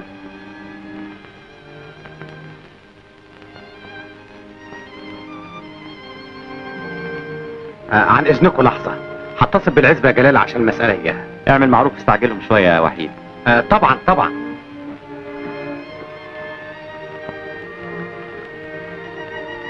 اقعد يا كريم. ها إزاي صحة عمك؟ أحسن الحمد لله. أظن ما كانش عاوز يسيبك ابدا. أيوه وبابا ازايه بيسلم عليك. ما جاش معاكي ليه؟ قاعد مع عمي هناك. آه. إيه عايزة تقولي حاجة؟ أيوه. بس بس إيه؟ قولي.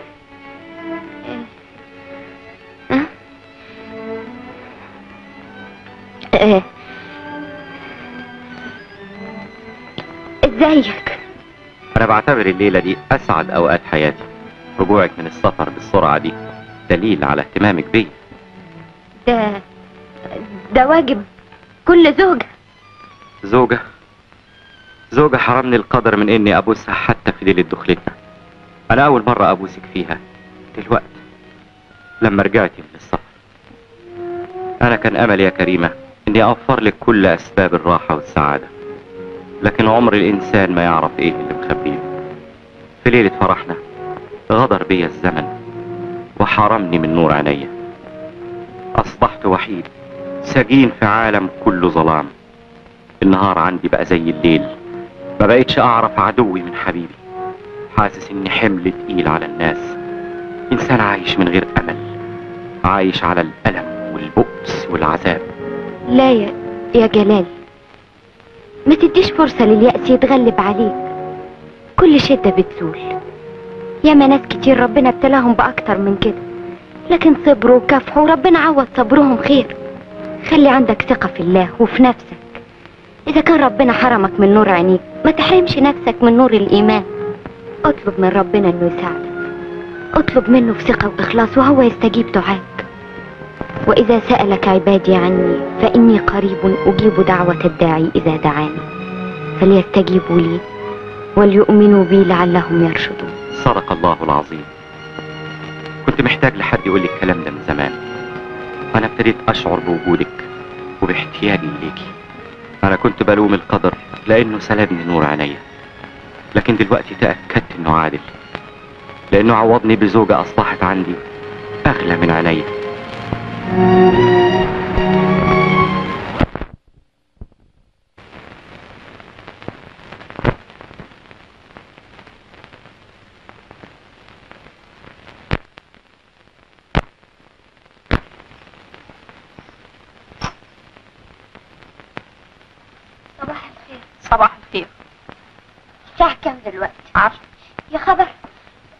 ترى البيت صحي؟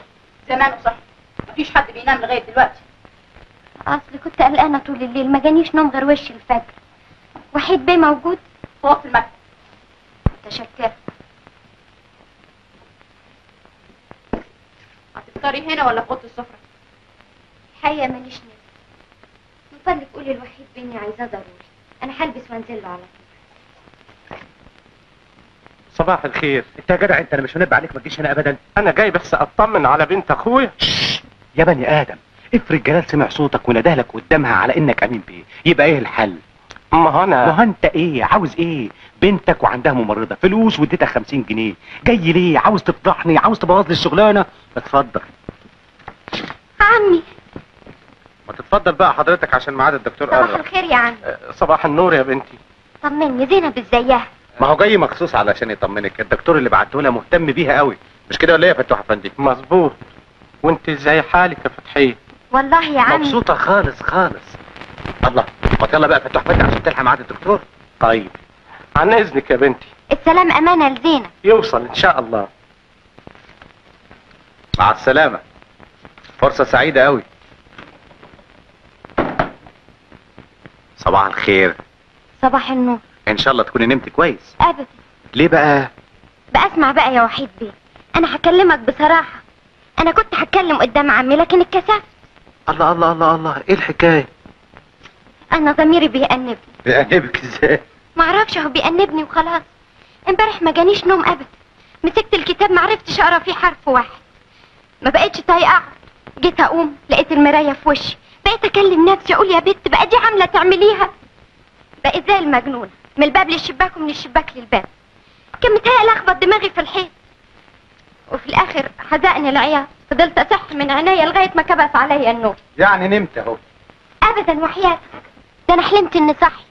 وفضلت برضه أكلم في نفسي وقعد ضميري يأنبني للصبح. تعرف إن دمي خفيف. أنا ما بهزرش أنا بتكلم جد. أموري طلباتك إيه؟ عايزه اراوح برضو ده الاتفاق اللي اتفقنا عليه. أعمل معروف. أبوس إيديك أبوس رجليك. حصل حاجة من جلال زعلتك؟ بالعكس ده إنسان لطيف قوي خلاص. ما هو ده اللي هيجنني؟ لو كنت سمعت الكلام اللي قالهولي سكر عارف يعني إيه السكر؟ فضل يقول لي يا مراتي يا حبيبتي أنتي أغلى من عينيا. أنا ماليش في الدنيا غيرك. أنا هفضل أحب الحياة طول ما أنتي جنبي. وكل ما يقول لي كده كنت بكره في نفسي زياده عشان عارفة إن الكلام ده مش ليا. كنت عاوز الكلام ده يبقى ليكي يوه إحنا في إيه ولا في إيه؟ أنا كنت حاسة إني بغش وبخدعه. ليه بس لا سمح الله؟ اسمع أنا اسمي كريمة؟ لا. أنا مراته؟ لا. أنا توفيت؟ لا. طلعت يبقى أنا كدابة وستين كدابة كمان. ابدا. أنت ممرضة بتأدي خدمة إنسانية. أنا كممرضة مستعدة أخدمه بعناية أسهر على راحتي لكن اللي هيجنني إنه فاهم إن أنا مرات. يا سلام. مفيش أطيب من كده قلب في الدنيا. يا بختك عند ربنا. أنت هتبني لك قصر الجنة. وحياتك لا هروح النار حتى. هما الملائكة بيروحوا النار. أنت بتعملي عمل يعجز عنه البشر. بتنقذي إنسان من صدمة أكيد هتكلفه حياته. لكن لو سبتيه اليأس هيقضي عليه. وحتى لو عاش مش هيرضى يعمل العملية. مستقبل جلاله ومصيره بين ايديك يا تحكمي عليه يعيش أعمى طول عمره يا تكملي رسالتك النبيلة وتقعدي معاه كمان يومين اتنين بس لغاية ما يعمل العملية. تفتكر في أمل في نجاح العملية؟ أيوه. الدكتور قال إن في كيس دم ضاغط على أعصاب العين. فلو انفجر الكيس ده يخف الضغط. آه. يا ترى ضميرك لسه بيأنبك؟ استنى بقى لغاية ما يعمل العملية. بس يومين زي ما قلت. ومن فضلك يا وحيد بيه ما تسيبناش مع بعض كتير. حاضر. وقول له ينزل الجنينة يتفسح يخفف عن نفسه شوية. وهو كذلك. اسمحي بقى تطلعي لحسن يكون عاوز منك حاجة. تعالى معايا. أنا منتظر تليفون من العزبة. اطلعي انت وأنا هحصلك.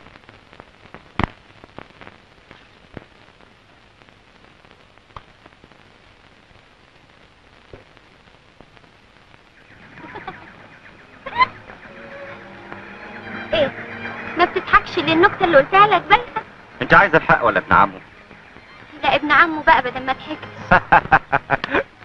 طيب هقول لك واحدة تانية بس على شرط تسمع أنا مستعد. قاضي بيسأل متهم. بيقول له إزاي يا جدع أنت تقتل واحد عشان خمسين قرش؟ قال له هنعمل إيه يا سعادة البيه اهي خمسين قرش من هنا وخمسين قرش من هنا. أهي تتطبق إيه طلعت بايخة دي رخرة ابدا بالعكس دي لطيفة قوي بس أنا كنت عايز اغيظ تعرفي أنا متهيألي حاجة غريبة قوي إيه؟ متهيألي زي ما تكوني اتغيرتي خالص. حاسس إنك إنسانة تانية غير اللي كنت اعرفها امبارح قعدت أفكر طول الليل. وبعدين؟ أنت مش وعدتني إنك مش هتفكر ابدا؟ أنا كنت بفكر فيك أنت. اسمع يا جلال ليه ما تحاولش تشغل نفسك باستمرار؟ تخرج من عزلتك وتتصل بالعالم والناس. أنا نفسي الليلة نخرج نتفسح ونسمع شوية مزيكا. عندك مانع تعزمني بس إزاي اخرج واقعد كده في وسط الناس؟ وليه لا؟ بلاش أنا يا كريم. روح انت اذا حبيتي. وازاي أروح من غيرك تأكدي وجودي معاك هيسبب لك شيء من الإحراج. بالعكس يا جلال. وجودك معايا يشرفني عشان خاطري يا جلال. ده أول طلب بطلبه منك أمرك يا ستي.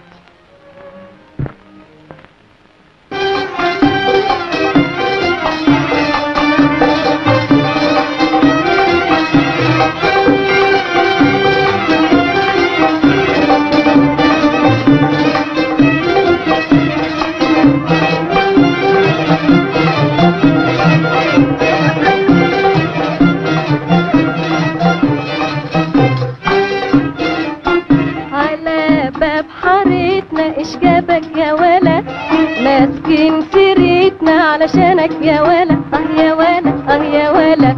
آه يا ولا. على يا ولا. ماسكين سيرتنا عشانك يا ولا. آه يا ولا آه يا ولا. آه يا ولا. على باب حارتنا جايب لي فرقتك.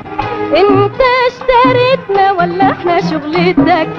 في كل حتة توسع خطوتك آه وعند بيتنا دوس على الفرملة. ليه يا ولا؟ ليه يا ولا؟ ليه يا ولا؟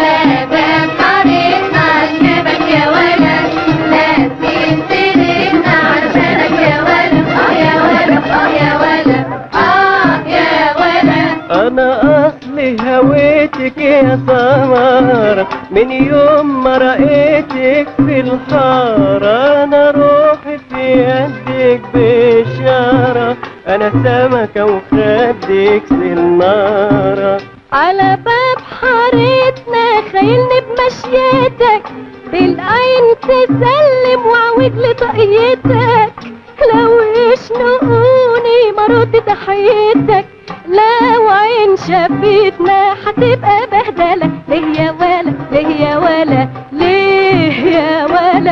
على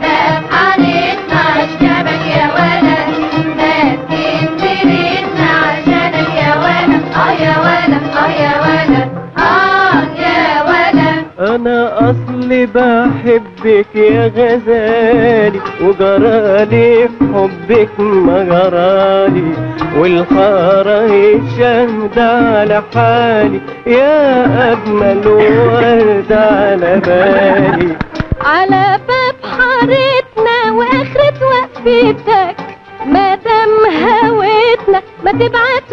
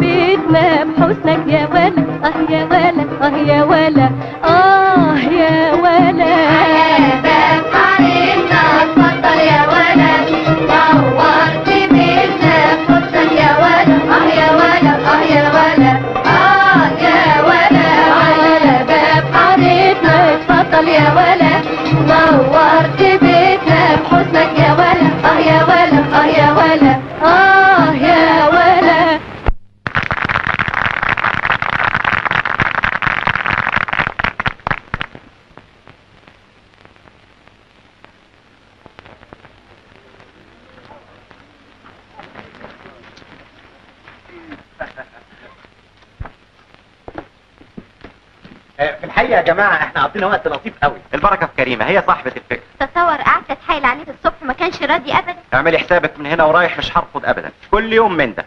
عارفة بكرة هنسهر فين؟ فين؟ على باب حارتنا. تعدي فيه تلغراف عشان جلال بيه. يا ترى من مين ده؟ ده من العزبة. الخزنة هتوصل بكرة. تعال تعال تعال. اسمع يا وحيد. اوعى كريمة تسألك عن حكاية الخزنة وتقول لها حاجة. طبعا طبعا أنا فاهم. أه تسمحي تيجي توصليني أوضتي؟ عن إذنك يا وحيد. اتفضل اتفضل. تصبحوا على خير. أو أنت من أهل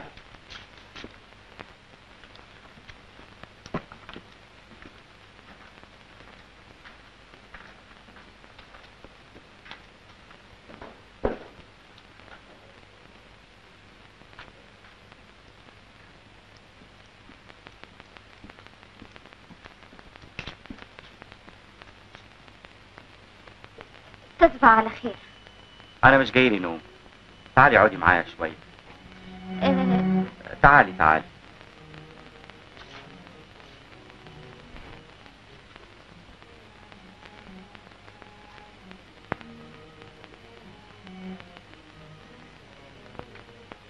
يا ترى إيه حكاية الخزنة اللي بتقول عليها؟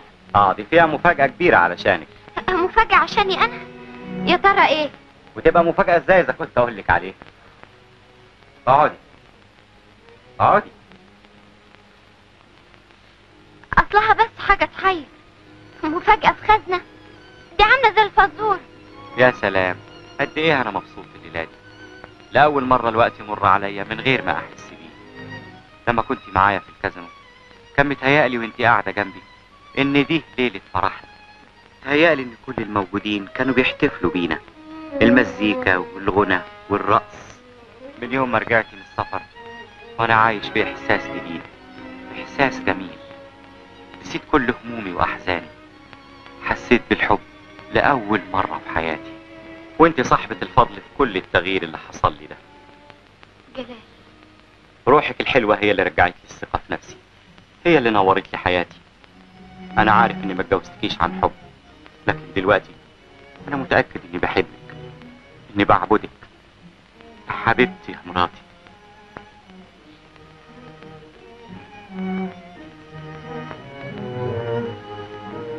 كريم. مالك؟ أنا قلت لك حاجة تزعلك. جلال أرجوك ما تعذبنيش. أنا آسف. ما كنتش فاهم إنك بتتعذبي. أنا كنت حاسس بدموعك لكن ما شفتهاش. فافتكرت إنها استجابة لحبي. فتريها دموع الحسرة والندم. دلوقتي بس عرفت الحقيقة.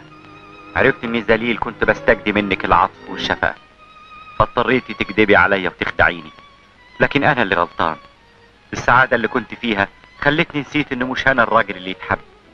خلتني نسيت إني أعمى.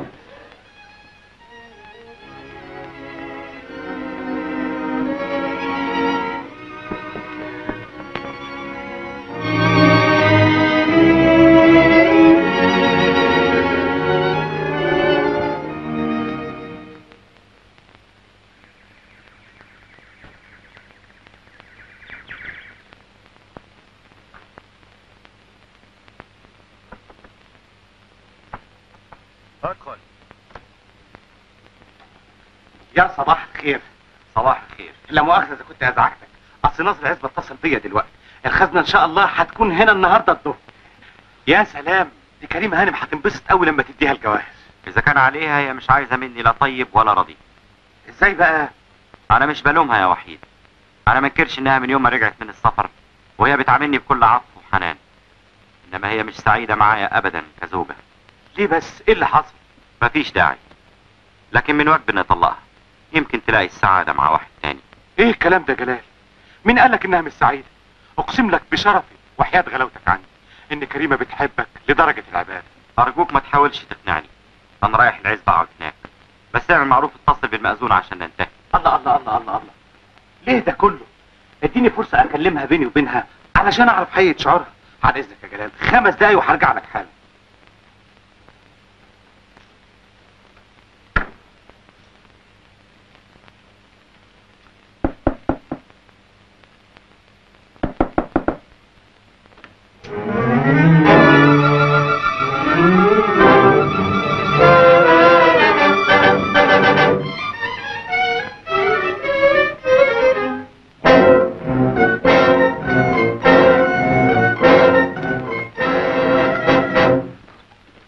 فتحية راحت فين؟ مش في أوضتها؟ لا مش في أوضتها.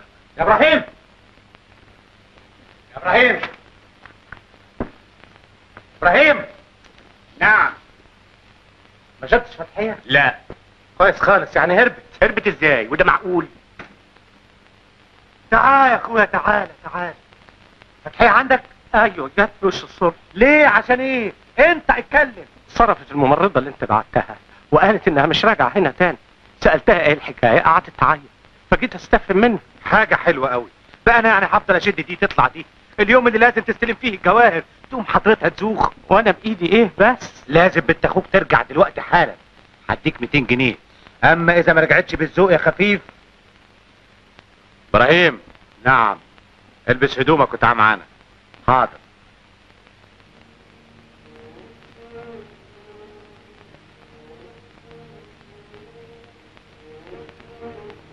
مالك يا فتحي؟ مفيش حاجة. بتعيطي ليه؟ والناس اللي كنت عندهم زعلوكي؟ أبدا. دول ناس طيبين قوي العيان ده راجل ولا ست؟ راجل. راجل كبير؟ لا. يعني شاب صغير. حلو.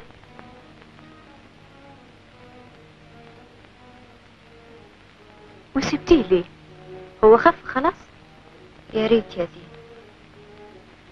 يا ريت. فهمت. تبقي بتحبيه.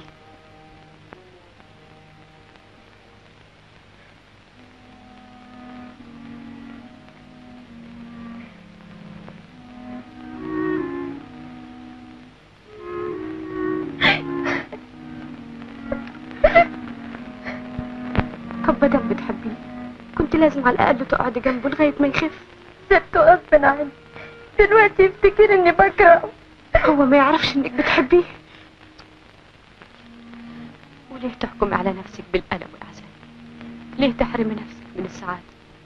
ارجعي له يا فتحية اعترفي له بحبك ده العمر قصير والأيام بتمر بسرعة. اسأليني أنا يا فتحية الإنسان لازم يتمتع وياخد حظه من الدنيا. ويفرح ويتهنى قبل ما يموت. الظروف تخلي الواحد يبقى قدامه الحاجة اللي بيحبها وغصب عنه يحرم نفسه منها. تبقى السعادة حواليه وهو قلبه حزين بيبكي لأنه عارف إنها مش من نصيبه. ظروف قاسية ما بترحمش يا زين لا يا فتحية إذا كانت الظروف قاسية ربنا رحيم. والشدة لازم يجي بعدها الفرج ما دام عندك أمل في وجه الله. لولا الأمل ما كانش حد عايش مستريح حتى أنا. عندي أمل إن ربنا يشفيه مع إني متأكدة إني حموت. بعد الشر عليك يا زين. خليك أنت هنا يا إبراهيم.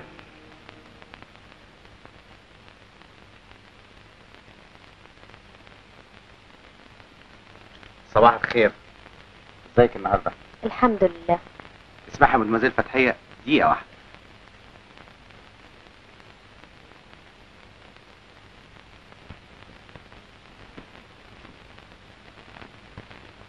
إيه الحكاية؟ خضتينا عليك. إيه اللي زعلك؟ مفيش حاجة مزعلانة لكن أنا مش هرجع البيت ده تاني أبدا. بلاش. هو حد غصبك؟ بس أحب أفهمك إن جلال حالته النفسية سيئة جدا.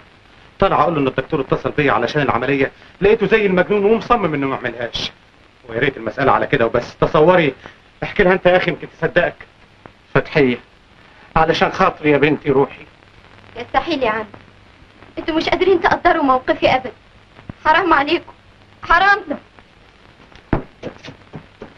استني إيه؟ ما أنا مش نازل الا بيه بالذوق بالعافية لازم فتحية ترجع حالا. إبراهيم نعم. يا وحيد بيه. يا فندم عاوز حاجة؟ أنتوا مزعلين فتحية ليه؟ إزاي؟ ده إحنا بنتمنى رضاه. دي فتحية غالية عندنا قوي النبي يا بيت راعي خاطرها إلهي يستر وقتك. إلهي ما يرقد لك جتة في أرض إبراهيم. خد على العربية جت يلا بسرعة. جلال معذور يا عمي مالوش ذنب لأنه فاهم إن أنا مراته لكن أنا ما أقدرش أرجع تاني أبدا. أنا ما كنتش فاهم إن المسألة هتوصل للدرجة دي يا بنتي.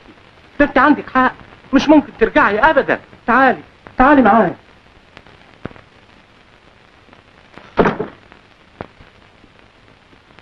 خير. فتحية مش هتتنقل من هنا. انت عارف إن الكلام ده مش كويس عشانك يا فتاح أفندي؟ هتعملوا فيا إيه؟ هتودوني السجن؟ هتموتوني؟ أنا حياتي ما بقالهاش قيمة بعد ما وسختها معاكم. لكن فتحية عاشت طول عمرها نظيفة وهتفضل نظيفة. أنتوا ناس ما عندكوش أي اعتبار لشرف أو كرامة. زينب بنتي بنتي فين؟ وديتها فين؟ حرام عليك دي عيانة دي مسكين يا ترجعي معايا دلوقتي حالا يا مش هتشوفي زينب طول حياتك. اعمل معروف أبوس إيديك. دي لو ما خدتش الدواء في الميعاد تموت. حياتها في إيدك. اتفضلي معايا. لا يا فتحية. إذا كان أجل بنتي انتهى فدي إرادة ربنا. لكن أنت ما تضحيش بشرفك ابدا. ما أقدرش يا عمي ما أقدرش أسيب زينب تموت. أنا آسف اللي بتصرف بالقسوة دي. لكن أنا كمان معذور. حياتي في خطر. لازم فتحية تستلم الجواهر قبل منصور ما يرجع من السويس.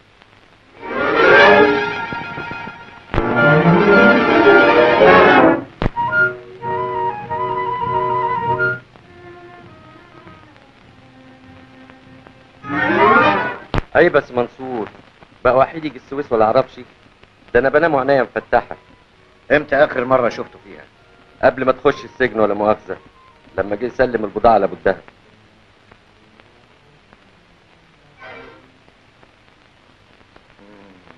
وعلى العموم من باب الاستحراس أنا مستعد أسألك جنزور. ما تتعبش نفسك. أنا تو جاي من عنده. من يوم ما وصلت السويس ما فيش مخلوق إلا لما سألته عنه. والرد واحد. ما جاش. ما شفتوش.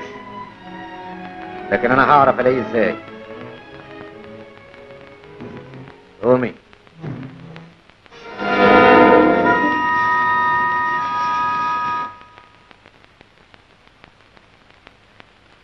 اتفضلي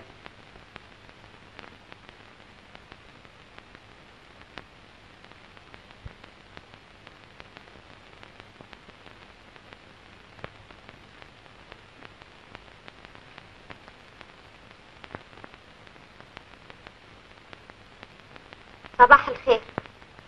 صباح الخير.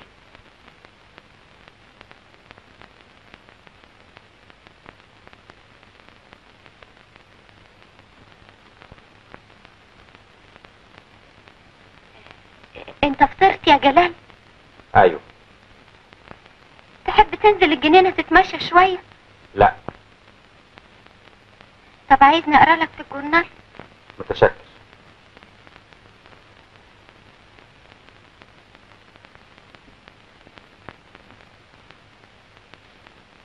أنا قاعدة أهو اذا عوزت أي حاجة بقى قولي. أنت زعلان مني يا جلال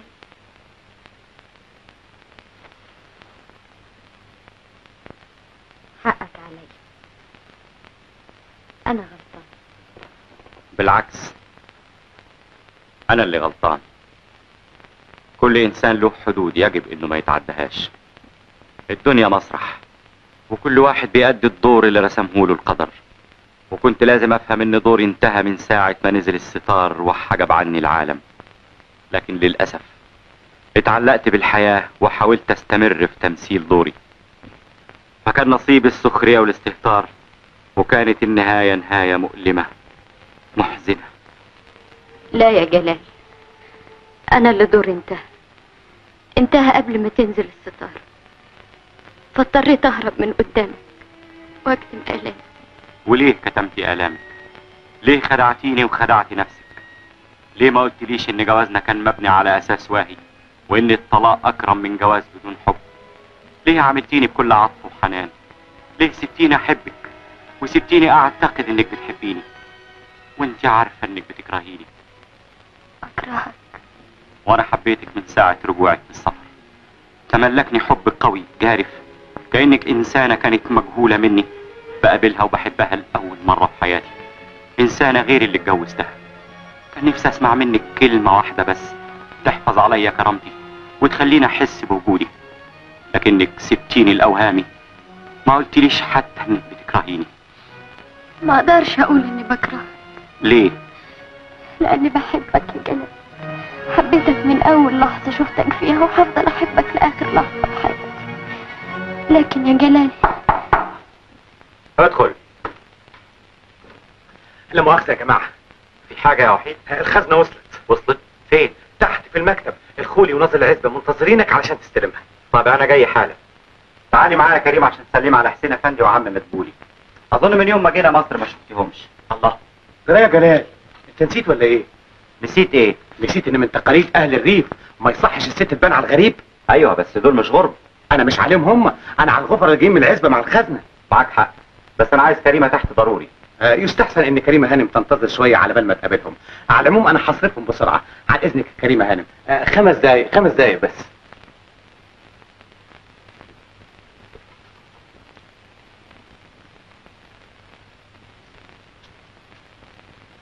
الصنم ده يا حضرة الناظر ده مش صنم ده تمثال. تمثال.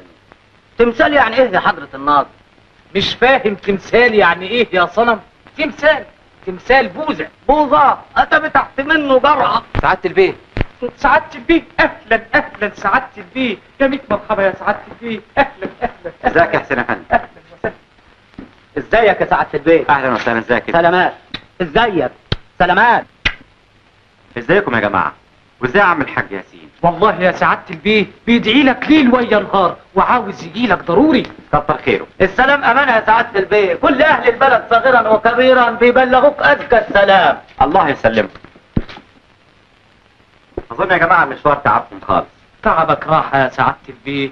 لا والدنيا حر والشمس بقت تضرب في نافوخهم ما يهمكش ده إحنا فلاحين واخدين على كده. لا برضه مهما كانت الحال. آه يا إبراهيم. يا فندم.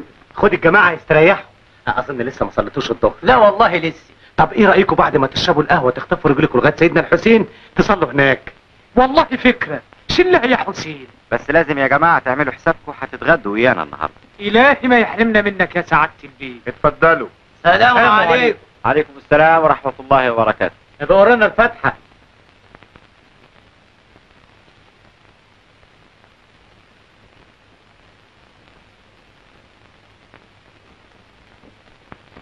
تحب أفتح لك الخزنة؟ لا معلش اطلع أنت أنت كريم حالا.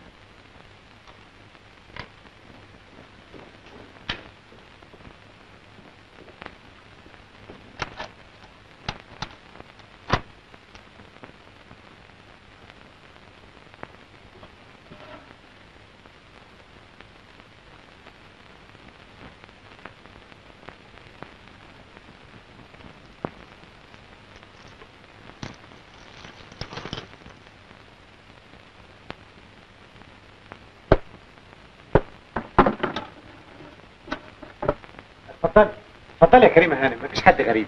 تعالي يا كريم. اهي دي يا ست المفاجأة اللي كلمك عنها امبارح. جواهر العيلة. هدية الاغلى جوهرة عندي. هدية لمين؟ هي لك طبعا. هو عنده أعز منك. أيوه بس وحيد بيه. ها؟ اسمع على إذنكم لحظة. في حاجة؟ اسمع إيه الحكاية فتوح بره في الجنينة. وايه اللي جابه دلوقتي؟ عاوز يقابلك ضروري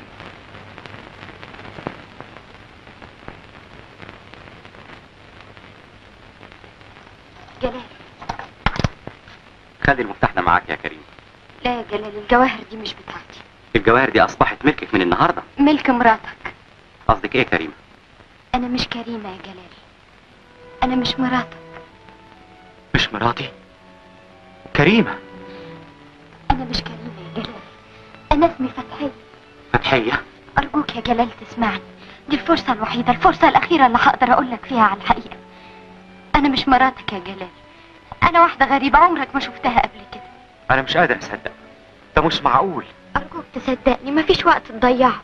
لكن صوتك. صوتي زي صوت مراتك تمام. وده اللي خلاك اتخدعت فيا. أمال فين كريمة؟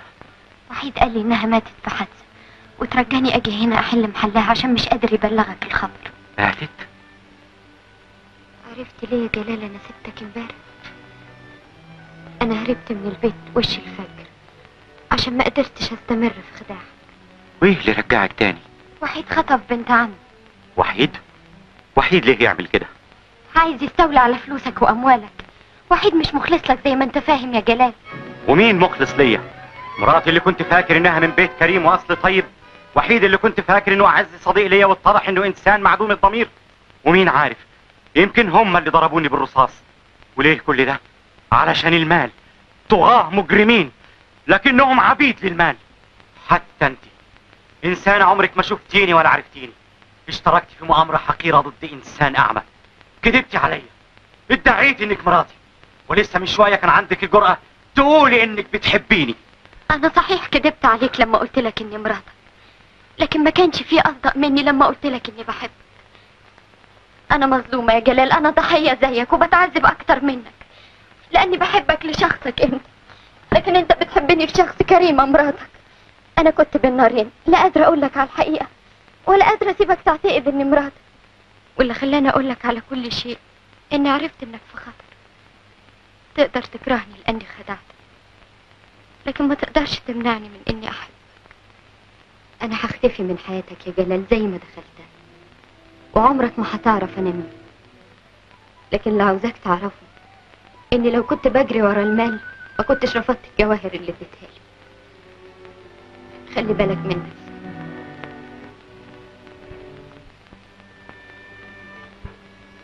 نفسك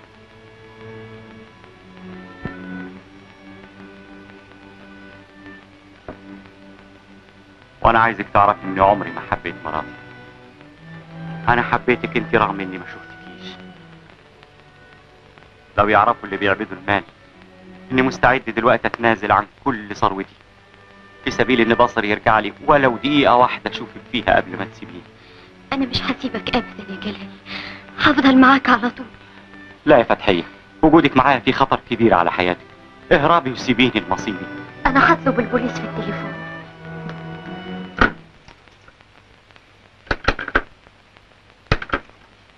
مفيش حرارة الظاهر إنهم قطعوا السكة. أنت بتعمل إيه؟ بخبي المفاتيح. خبيهم في الخزنة. مفيش ابدا حد هيفكر إن الخزنة مفتوحة والمفاتيح جواها هيدوروا في كل حتة في البيت إلا جوه الخزنة. هيفهموا إنها مقفولة. فتحية. روح انتهي الجماعة بتوع العزبة. قولي لهم ما يمشوش. اوعى تغلط قدام وحيد وتقول لي يا فتحية. أمال أقول لك إيه؟ قول لي كريمة برضه.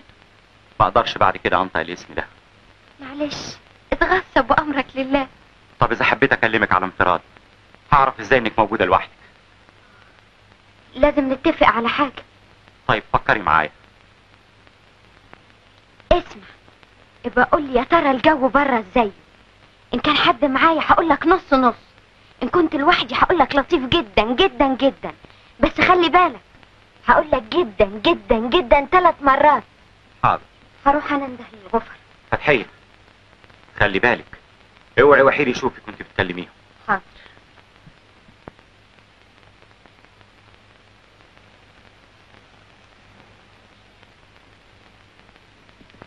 على فين يا كريمة هانم؟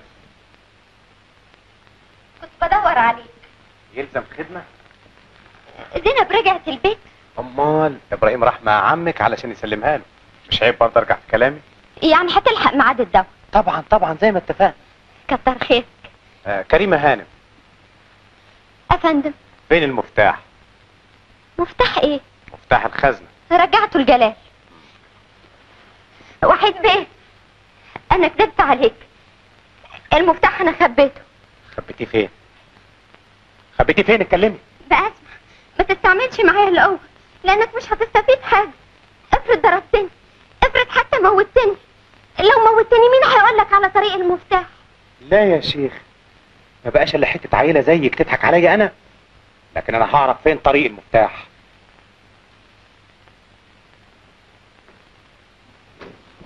ها إزاي الحال طمنيني. الحمد لله الصداع خف شوية يا ترى الجو بره إزاي؟ نص نص. مش كده يا وحيد بيه؟ الله. هو وحيد معانا ولا إيه؟ آه لسه داخل. كنت مع الجماعة بتوع العزبة. هم راحوا يصلوا. آه لا بيتغدوا. فضلت واقف على إيد الطباخ لما خلص لهم الأكل. يا سلام عليك يا وحيد. انت ما تفوتكش الوحدة ابدا. أنا مش عارف كنت أعمل إيه من غيرك. أنت واجب عليا. أنا معتبر نفسي صاحب بيت. آه طبعا طبعا. إحنا إخوات. وأكتر من الإخوات. ربنا يديم المعروف. إلا بالحق. عملتوا إيه في الجواهر؟ قصدك إيه؟ هتخلوها هنا ولا هتودوها البنك؟ إيه رأيك يا كريمة؟ أنا رأيي نخليهم هنا. قصدي نوديهم البنك أحسن. والله ما أنا عارفة بقى. أنا بس خايف على المفاتيح يتنطروا منك هنا ولا هنا. لحسن يلا السلامة حد من الخدامين. المفاتيح مش مع كريمة يا وحيد. أمال فين؟ لا يا عم مش هقول لغاية ما نوديهم البنك. أنت خوفتني من حكاية الخدامين. لا على فكرة يا كريمة مفيش أخبار من والدك. ابدا. أنا خايفة يا جلال لا يكون عمي جرى له حاجة.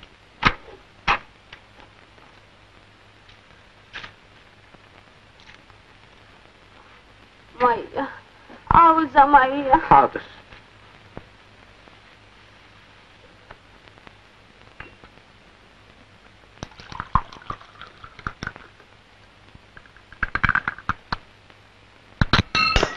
زينب زينب بنتي. بنتي بنتي ماتت. بنتي ماتت يا منصور. وحيد هو اللي موتها. وحيد موتها. هو فين وحيد؟ قتلها قتل زينب قتلها. فتوح فتوح. كلمني رد عليا. هو فين وحيد؟ فين وحيد؟ كلمني. المجرم الظالم هو اللي بلغ عنك. فتوح انتبه لي شوية. هو فين؟ هو فين؟ فين المفتاح؟ عمي يجي الأول ويطمني على زينب. زينب رجعت البيت. ما صدقكش أحسن لك تجيب المفتاح. وأنت أحسن لك سيب دراعي لحسن حنده على الغفر الغفر سافروا خلاص. سافروا أيوه. فهمتهم إن جلال نايم ومش هيقدر يقابلهم. خلاص مفيش حد هيحميكي. البوليس مش هتعرفي تتصلي بيه. لو صرخت ومليت الجو محدش هيسمعك. غير جلال. جلال نعمة. وحيد. الحقني يا وحيد. ميمي إيه اللي جاي اوام لازم نهرب. منصور هيجي هنا دلوقتي. بتقول إيه؟ أنا سبته مع فتوح وهربت. زمان فتوح قال له على كل حاجة. دلوقتي بقت مسألة حياة أو موت. إن ما جبتيش المفتاح هقتلك. اقتلني. لكن مش هقولك على طريق المفتاح. مين دي يا وحيد؟ دي دي اللي عملت مراته بدالك. انت؟ انت مرات ادخلي الجلال أوضة المكتب واطلبوا منه مفتاح الخزنة. إزاي بس؟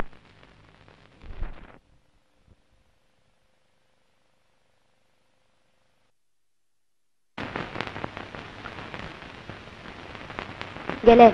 اديني مفتاح الخزن. إيه اللي حصل؟ بس اديني المفاتيح بعدين افهمك. طيب ما انت عارفه مطرحه. أيوه بس هخلي بالي من الباب. احسن حد يخش على غفلة.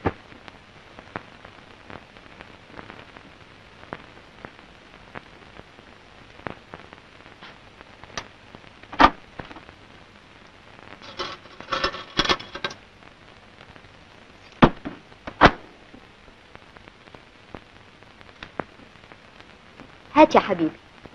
بس مش تفهميني إيه اللي حصل. بعدين بعدين.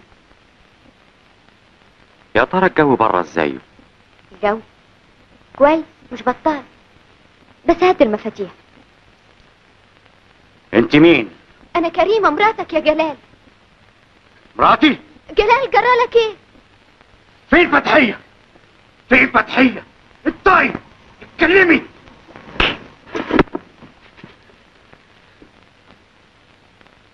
الخزنة مفتوحة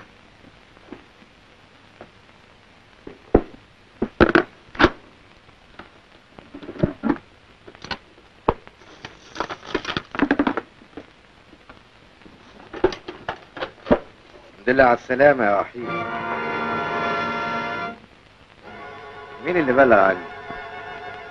لسه ما عرفتوش؟ ما تتكلمي يا ميمي مالكم خايفين كده ليه؟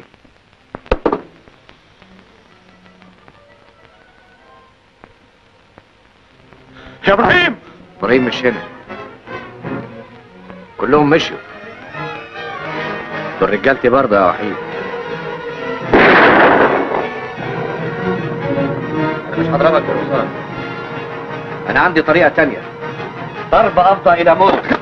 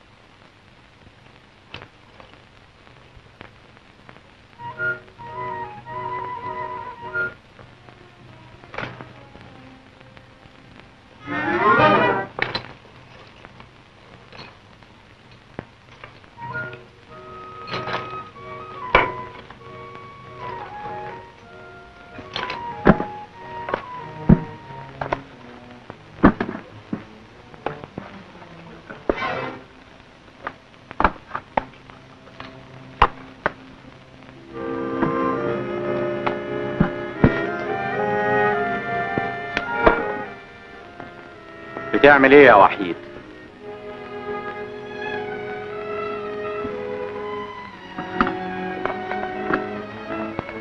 رجع الجواهر مطرحها.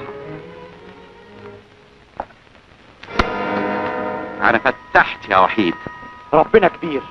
الضربة اللي ضربتها لي رجعت لي بصري تاني.